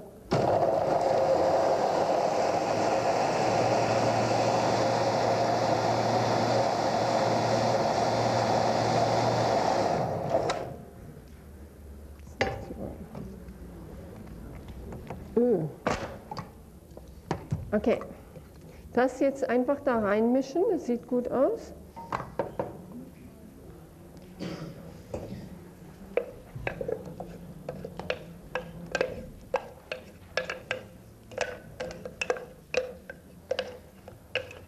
Und da kann man auch noch was auch, ähm, Stückchen Karotten oder irgendwas dazu, irgendwas, was schmeckt. Einfach mischen. Jetzt muss Walter ein bisschen was erzählen, denn das muss jetzt stehen bleiben, eine, so einige Minuten, damit es die Feuchtigkeit aufsaugt. Oder ihr könnt eine, eine, einige Fragen stellen. Das ist auch, was ihr wollt. Was ist das Lecithin? Ähm, aus Soja, das kommt aus der Sojabohne, ne? Kannst du ein bisschen erklären? Habe ich schon. Das Lecithin, wie gesagt, kommt aus der Sojabohne. Also was muss ich jetzt erzählen? Irgendwas, Fragen beantworten. Ja. Da habe ich ja schon, äh, denke ich, wann war's? Vorgestern geantwortet. Nicht aufgepasst. Aha. ja, ich habe gesagt, wenn, wenn der Gen nicht ganze, den ganzen Metabol Metabolismus umschmeißt, sondern nur eine Resistanz gibt, zum Beispiel, dann ging es ja noch. Aber wenn man genmanipuliertes vermeiden kann, dann würde ich es schon meiden. Aber es wäre nicht das Ende der Welt, wenn da so ein Gen dazu getan würde, der nur eine Resistanz gibt. Aber der menschliche äh, Wachstumshormongen, der zum Beispiel bei Schweinen übertragen wird, der ändert die ganze Physiologie des Schweines. Und das ist für mich höchst problematisch. Ich werde es jetzt ein bisschen früher anfangen. Ne? Sonst normalerweise muss es ein bisschen länger ähm, stehen, damit es ähm, auch ein bisschen dicker wird. Aber wir probieren mal. Also wenn Sie jetzt anfangen, das heißt, ich bin wieder erlöst. Nein, nein. mhm. Ich guck mal, ob das geht. Bestrahlung von Obst. Bestrahlung ändert Zucker. Das ist nachgewiesen. Und äh, ich bin nicht sehr dafür für bestrahltes Obst. Wenn es geht um äh, Würze und dergleichen, da gibt es keine komplexen Kohlenhydrate drin, zu dem Maße wie in Früchten zum Beispiel oder Gemüse. Und dann wäre das nicht so schlimm. Was wichtig ist hier, na, bleib da. Was wichtig ist, ist, dass man den Deckel drauf tut. Denn es, es gibt kein Öl, also die Hitze muss dann, es muss dann, mm, wie sagt man da, ja, es muss drin bleiben, denn es gibt kein Öl, das, das es wärmer macht. Also Deckel drauf, bisschen warten, du wirst merken, dass es, es ist einfach so viel besser, man, wenn man den Topf dann nachher abspült oder wäscht, ist es so viel einfacher, das ist so viel sauberer. Du hast kein Öl überall in, der Küche und das ist so viel einfacher. Jetzt weiß ich auch nicht, ob das Ding hier unten warm genug ist, aber wir probieren schon. Bitte? Nochmal? Ach so, ich habe es auf zweieinhalb. Es geht bis drei. Also es soll eigentlich ein bisschen ni- niedriger, aber ich habe am Anfang ein bisschen wärmer. Es kann nicht zu hoch sein, dann brennt das, denn es gibt kein Öl da. Ähm, aber es kommt noch. Zweieinhalb. Ich mache es noch auf drei, damit es ganz schnell wird. Und das dauert eine Weile, da muss man es umkehren und dann wird man merken, dass es ganz schön ähm, braun wird. Du bist schon wieder verschwunden. Vielleicht können wir die durchgehen lassen, dann sieht jeder die Konsistenz. Ja, okay. Das ist eine gute Idee. Jeder kann einmal rühren, dann ist es gut vermis- vermischt. Das soll eigentlich ein bisschen mehr gerührt werden, aber ich habe jetzt nicht die Zeit gehabt. Ja, jeder kann einmal. Sauerteig, mm, Sauerteigbrot, wo ist der Mann? Sauerteigbrot, ist das gesund? Kann man das essen?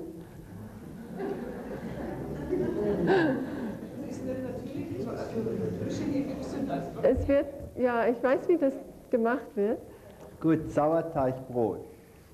Äh, saures Brot, was sauer geworden ist, ist sehr ungesund.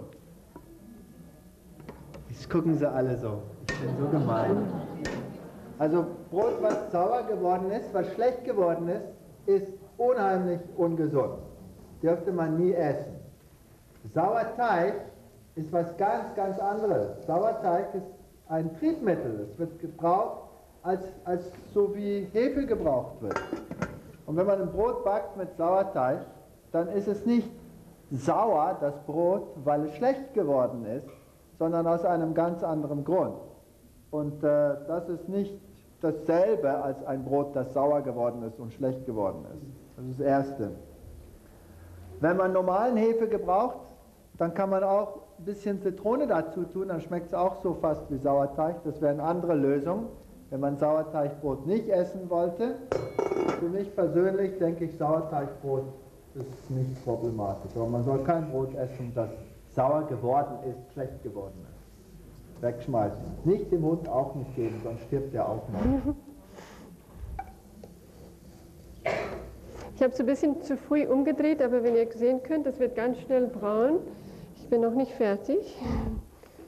Es geht schnell, so. Siehst du? Ist ganz einfach. Das ist jetzt sehr gesund. Was man hier drin hat, ist eine, ein, eine volle Mahlzeit. Ja? Sojabohnen, ähm, Hefeflocken, hat man alles da. Du, kann, du hast auch noch Hefe dazu. Das ist schon irritierend gesund. Wir machen auch, ähm, wie heißt das, Waffeln? Waffeln? Ja? Machen wir auch mit Sojabohnen und Haferflocken. Ganz, ganz toll. Die kommen ganz knusprig raus, wenn man eine gute Pfanne hat. Ist auch eine ganz, ganz eine gute Mahlzeit. Man kann davon leben. Ist also sehr gut.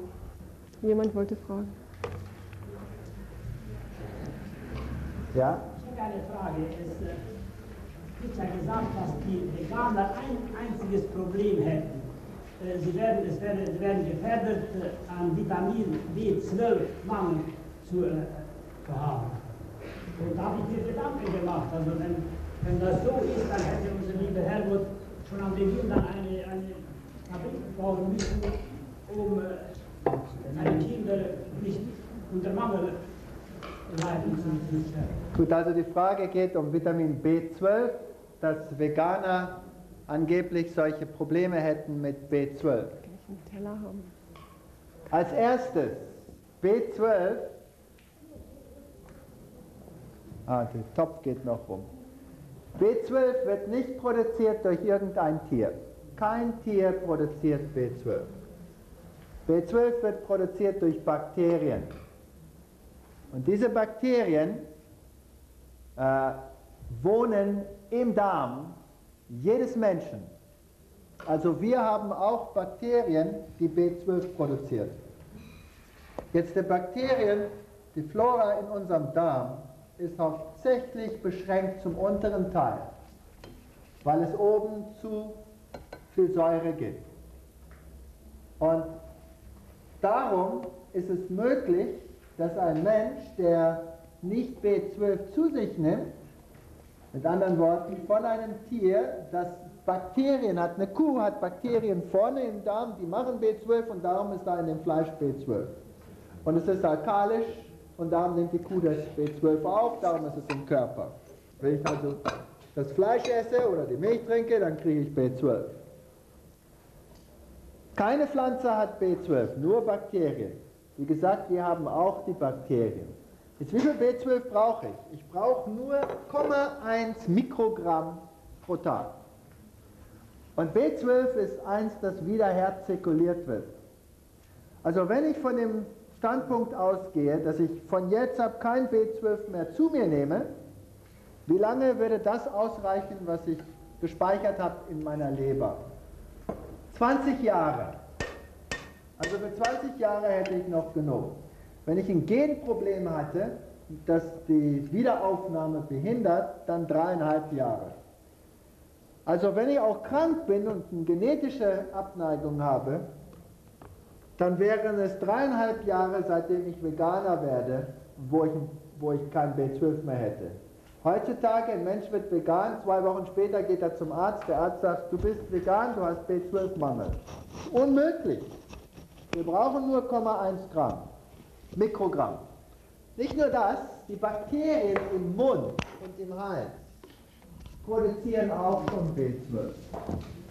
Wenn ich mich richtig ernähre, dass ich äh, eine alkalische Ernährung habe und dafür sorge, dass ich nicht Früchte und Gemüse bei der gleichen Mahlzeit mische, denn das gibt Gärung und gibt Fettsäuren anstatt äh, einfache Kohlenhydrate, dann ist der pH-Wert so, dass die Bakterien auch höher in den Darm vorkommen.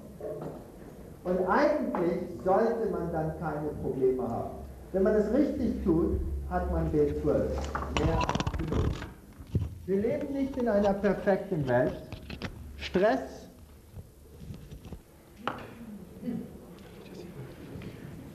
Stress verursacht Säure. Und wenn wir Stress haben, dann können die Bakterien auch weiter unten im Darm sein. Und Stress kann verursachen, dass sogar ein äh, Omnivor, ein Fleischesser, nicht genug B12 hat. Sogar, und weil es so viel Säure sowieso produziert, um Fleisch zu essen, finden wir oft, dass gerade eben die, die viel Fleisch essen, eher B12-Mangel haben als die Veganer. Jetzt wir sind zehn Jahre lang vegan. Blutspiegel sind geprüft worden, da ist nichts verkehrt. Wir nehmen keinen B12 extra, nichts. Wenn ich mal, sagen wir mal, ein hm, bisschen Stress hatte und es geht mir nicht so gut, dann soll ich anfangen mit der Soße. Gut, ich fange gleich an mit der Soße. Und man hat viel Stress zum Beispiel, dann nimm mal ein B-Komplex-Tablette, wo da B12 drin ist. Äh, dann fühlt man sich vielleicht wohler. Ich denke, man braucht sich keine Sorgen machen um B12. So, jetzt muss ich mit der Soße anfangen. Die Platte ist auf Null, da klappt überhaupt gar nichts. Naja, gut. Also wenn man eine Soße machen will und man will Zwiebel braten, aber man will kein Fett gebrauchen, oh ja, so nebenbei, wenn da kein Lecithin ist, was für ein Öl würdet ihr gebrauchen? Olivenöl. Ganz klein bisschen, nur so schmieren. Das ist interessant, das erste Mal machen bei den Bohnen. Denn natürliches Lecithin in der, in der Bohne, die ja hier gehackt wurde, wird freigesetzt. Und wenn du backst mit diesen Patties, so wie meine Frau es eben gemacht hat, kommt das natürliche Lecithin ein bisschen raus. Also die Pfanne ist immer geschmiert. Ist das nicht toll? Brauchst nie wieder nachmachen. Alles immer natürlich danach. Also einmal und fertig für, wie viel, wie viel hast du gemacht neulich? 100 wie viel? Und wie oft hast du nachgeschmiert? vielleicht dreimal. Ja, aber auch eine Edelstahlpfanne. Gut, wenn man jetzt, ich gehe nicht alle diese Zwiebel braten, man kann, es wird jetzt machen. Ja, ist ja toll. Also ein bisschen Wasser rein und dann die Zwiebel da rein. Ich will nicht alle machen, ich mache ungefähr die Hälfte, sonst dauert es zu lange. Und so und zumachen. So, da ist jetzt kein Fett drin. Und das soll jetzt hier ein bisschen dunsten. Und die Zwiebel ist, fast sage ich was, was ich nicht sagen sollte. Aber naja, die Zwiebel ist äh, eine Substanz oder eine, ein Gemüse, das sehr viel Geschmack geben kann. Also wenn man etwas mal ein bisschen mit Summe haben will, dann ist es doch normalerweise so, dass wenn du Zwiebeln mit Öl anbrätst und so weiter, dann ist der Geschmack in der Zwiebel drin und eine Soße wirkt viel würziger, wenn sie diesen Geschmack drin hat. Also der gebratene Geschmack an einer Zwiebel der gibt, äh, wie sagt man da, Summa, bisschen, naja, an, an eine Soße. Äh, meine Frau schimpft immer mit mir, denn ich habe nie Geduld. Alles ist immer auf drei oder wenn es ein vier gibt, wäre es auf vier. naja, aber es klappt. Man muss dann nur aufpassen, sonst brennt es an. Und wenn man nicht viel, wenn man ein bisschen mehr geduldig ist, so wie meine Frau ist, äh, dann kann man es ein bisschen runterstellen. Vielleicht sollte ich das machen, nur für diese Kamera, so auf zwei stellen. Okay. Und nur so ein bisschen dunsten lassen. Erstmal, dass es ein bisschen äh, die Flüssigkeit aus der, aus der Zwiebel selbst rauskommt, dass es ein bisschen schrumpft.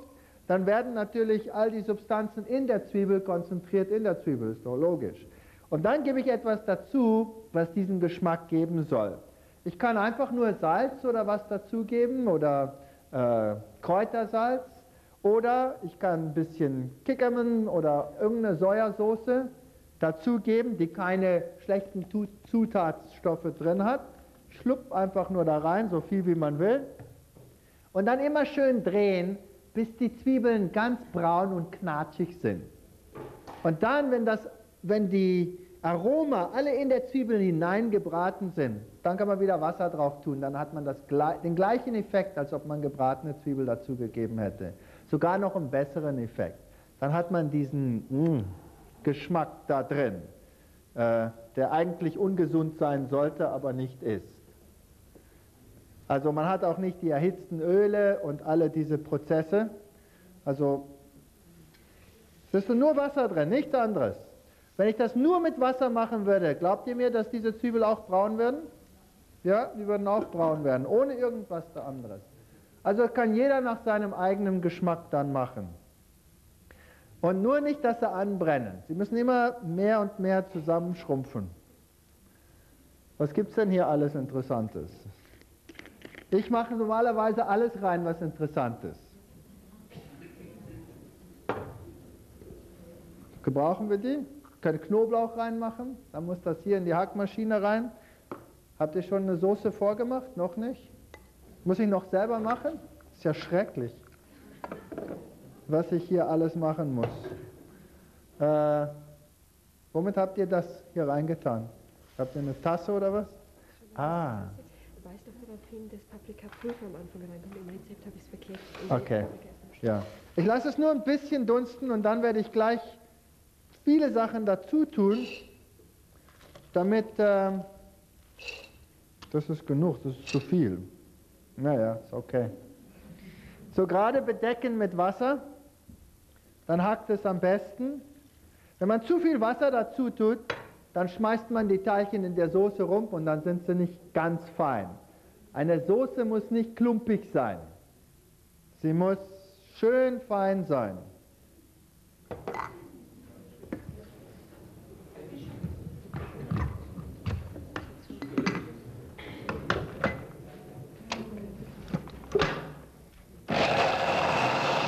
Auf voll.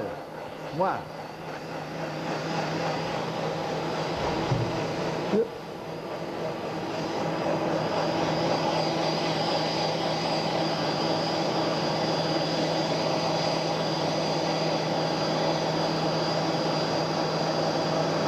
Wird schon braun.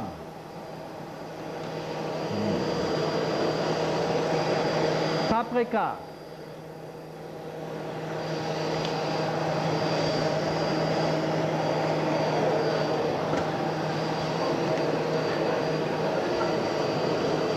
Lacht. Was gibt's denn noch? Aha, Kräutersalz.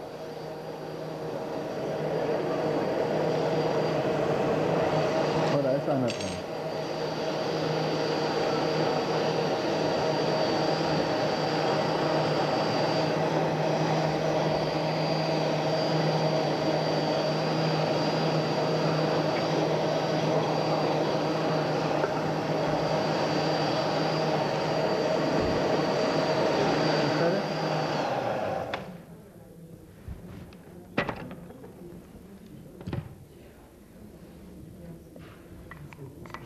Maschine ist gut.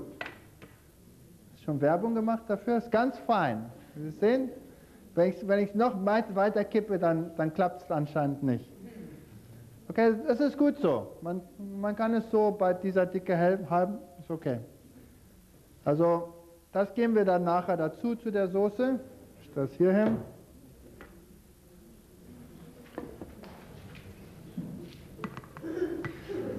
So, jetzt meine Zwiebeln sind schon ein bisschen gedünstet. Jetzt drehe ich sie ein bisschen. Und dieser Paprika und dergleichen muss hier rein. Es muss knatschig werden.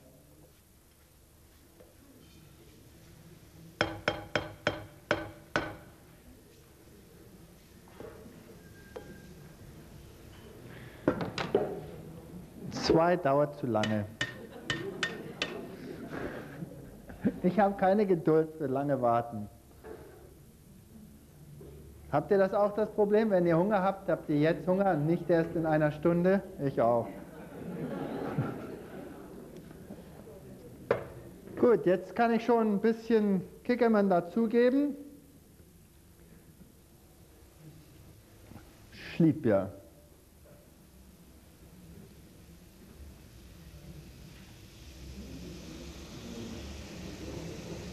Nur so ein bisschen, ne?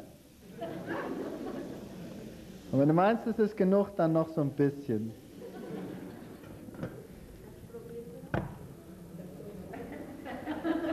Probieren? Das ist natürlich jetzt recht konzentriert, was man hier macht. Ne? Aber das ist, um den ganzen Geschmack in die Zwiebel reinzubraten.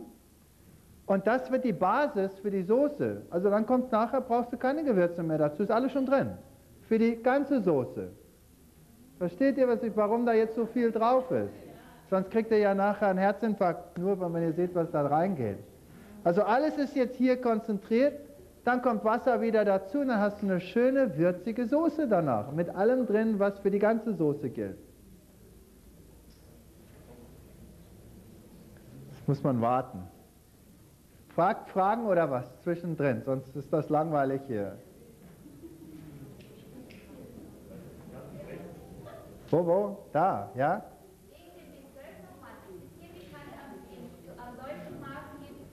Lupine, die haben B12, ja? Ja.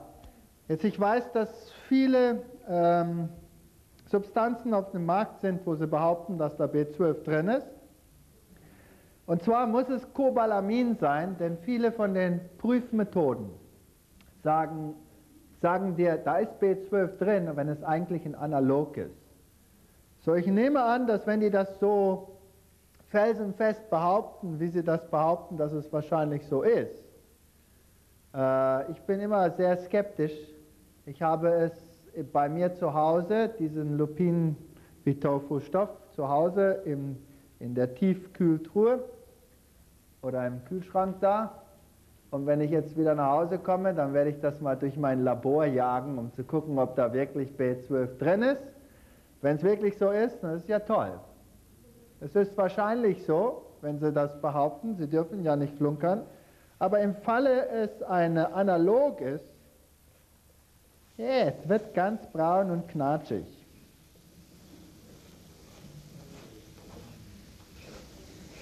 Nur nicht anbrennen lassen. Aber es wird ganz braun. Könnt ihr sehen, wie braun das ist? Ist nicht gebrannt, das ist die Kickerman-Soße, die so ist. Und schön flach machen, dass es schön heiß wird.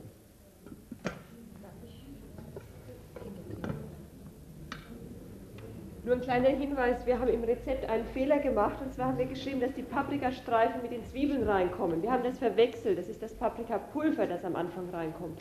Die Paprikastreifen kommen erst später rein, also bitte nur... Ja, das ist natürlich, sonst, sonst passiert dasselbe hiermit wie mit der Zwiebel. Das will man ja nicht, man will das ja als extra drin haben. Man braucht nicht Paprika reinmachen. Man kann das, die gleiche Basis gebrauchen für irgendetwas. Das ist ja gerade das Schöne dran. Ich kann also diese Paprikastreifen reinmachen und, und äh, Champignons reinmachen und dann die Soße dazugeben und dann habe ich einen bestimmten Geschmack. Äh, wenn es zu trocken wird, dann ein klein bisschen Wasser wieder nachhelfen. Nur so ein Knack, um das schöne Braune in die Soße reinzubringen. Und dann schicke ich gleich mal die Soße rum und ihr könnt mal riechen. Ihr riecht sicher schon. Es ist schon eigentlich gut genug, man könnte schon aufhören. Wenn man eine perverse Zunge hat, so wie meine, dann macht man es noch brauner. Also man könnte die gleiche Basis hier gebrauchen und jetzt zum Beispiel gekochte Kichererbsen dazugeben und äh, vielleicht Spargelstückchen und dann die Soße dazu und dann auf einem Reis bedienen. Dann hat man so eine reichhaltige Soße mit äh, Kichererbsen und Spargelstückchen drin und man kann den Saft von, dem, von der Spargelbüchse, wo all diese guten Dinge noch drin sind, so gebrauchen, wie ich jetzt das Wasser gebraucht habe. Und dann hat man alles drin und das gibt einen sehr guten Geschmack. Da hat man so eine feine, so eine feine Soße. Äh, man kann irgendwas machen. Sellerie rein. Wir gebrauchen die gleiche Basis, zum Beispiel mit Selleriestückchen, mit dem und äh, gekochte Linsen, eine Tasse oder eine Tasse und eine halb schon gekochte Linsen rein mit Tomatenmark und äh, Tomatenpüree dazu. Dann hat man eine fantastische Soße für Spaghetti, für Nudeln. Äh, so eine Bolognese-Art Soße. Gut. Eigentlich könnte man jetzt schon aufhören. Ich kann es rumschicken und dann könnt ihr mal riechen, wie das so riecht. Wollt ihr? Nein? Ihr glaubt es mir? Gut. Es ist ganz braun und der gebratene Zwiebelgeschmack ist da, ohne irgendein Fett, irgendein Öl. So, jetzt gebe ich das mal dazu.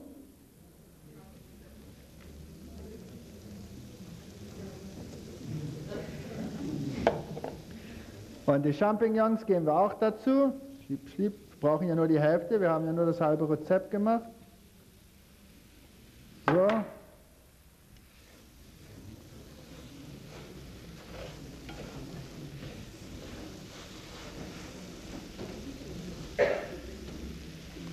Und jetzt kann es wieder feucht werden.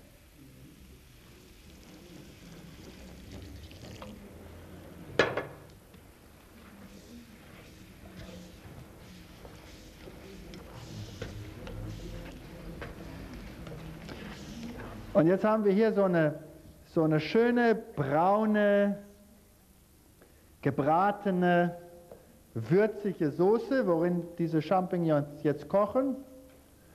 Und die anderen Dinge. Man macht das jetzt zu, jetzt braucht es nicht mehr so heiß sein. Ich brauche ja nur kochen. So, ich mache es jetzt auf anderthalb. Und jetzt soll es ruhig kochen, bis es gar ist. Und dann kommt die Soße dazu und dann fertig. Und man kann viel machen, dann hat man gleich eine schnelle Mahlzeit für viele Personen. Ja?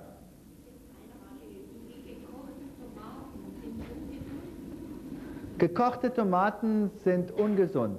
Nein, gekochte Tomaten sind nicht ungesund. Sie sind etwas mehr säureformend, als was äh, rohe Tomaten wären, aber sind nicht ungesund. Nein. Einige Menschen haben Probleme mit, äh, mit Tomaten. Dann können sie eben das nicht so essen. Andere haben wieder Probleme mit etwas anderem. Jeder Mensch ist ein bisschen verschieden. Für uns, wir gebrauchen viele Tomaten beim Kochen.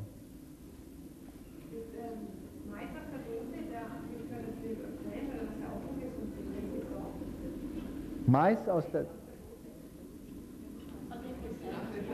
Gibt es in Afrika nicht. Wie heißt das? Also, also ach so, die, Mais, die Maisstückchen aus der Dose. Ja, wieso sollte das problematisch sein?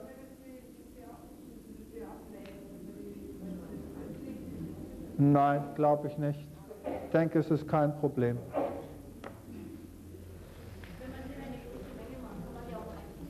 Ja, absolut.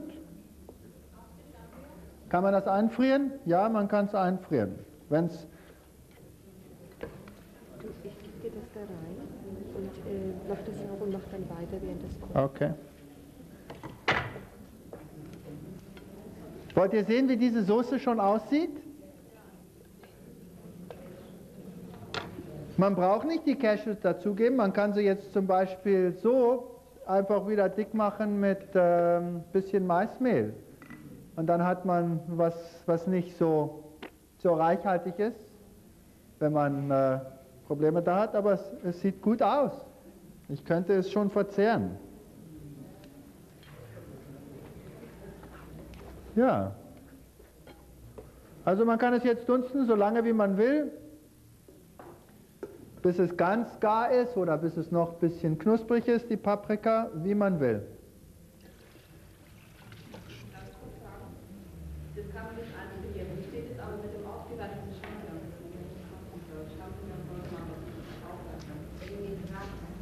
Ja, das sind so viele Dinge, wo man sagt, das sollte man nicht machen und das sollte man nicht wieder aufwärmen. Jedes Mal, wenn man etwas aufwärmt, geht etwas verloren. Das ist wahr. Bei allem, was man wieder aufwärmt, geht wieder was verloren. Also zehnmal würde ich es ganz bestimmt nicht aufwärmen. Einmal, es hat weniger Nahrung drin, Vitamine und dergleichen, als was es das vorige Mal drin hatte. Aber so wenig weniger. Das ist für alle praktische Zwecke, braucht man sich nicht darüber so viel Sorgen zu machen.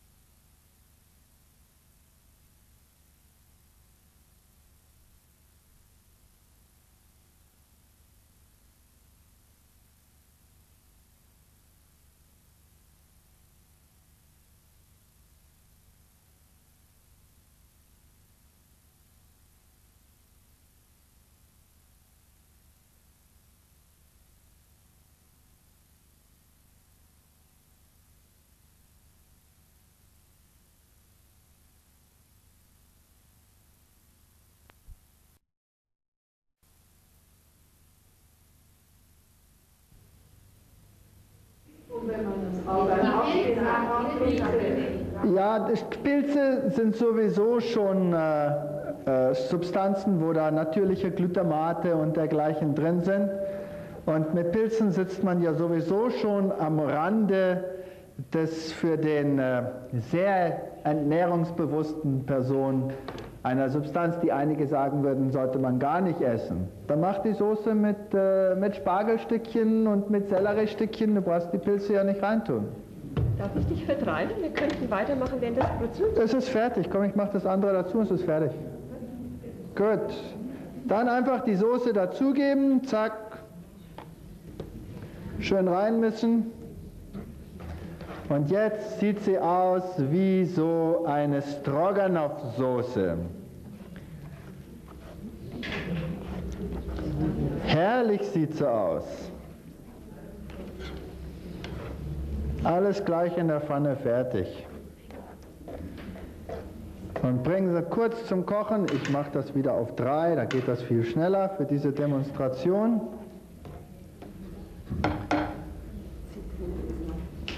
Der kommt am Ende dazu.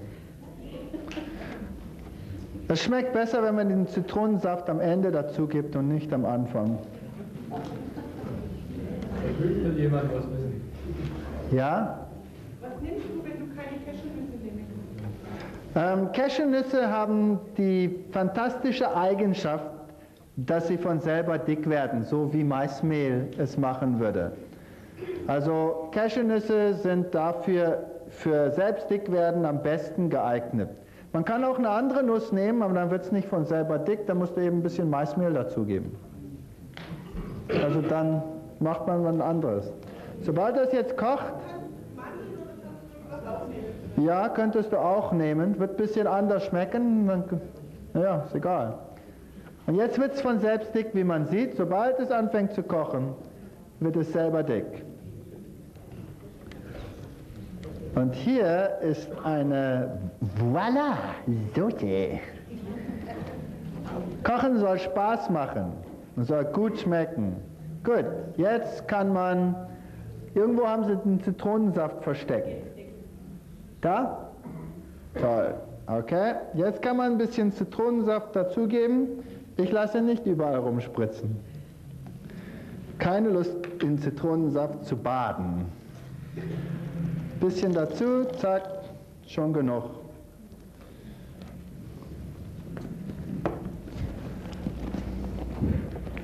Und fertig ist der Laden. Wer will mal riechen? Die riecht jetzt gut. Und wenn sie kalt wird, dann wird sie dicker. Also da wär's. Kann irgendeiner schmecken. So, wo soll ich es hinstellen, dass es nicht mehr kocht?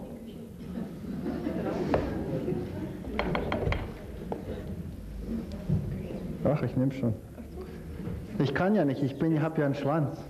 Stell es ab, ich nehme es ab.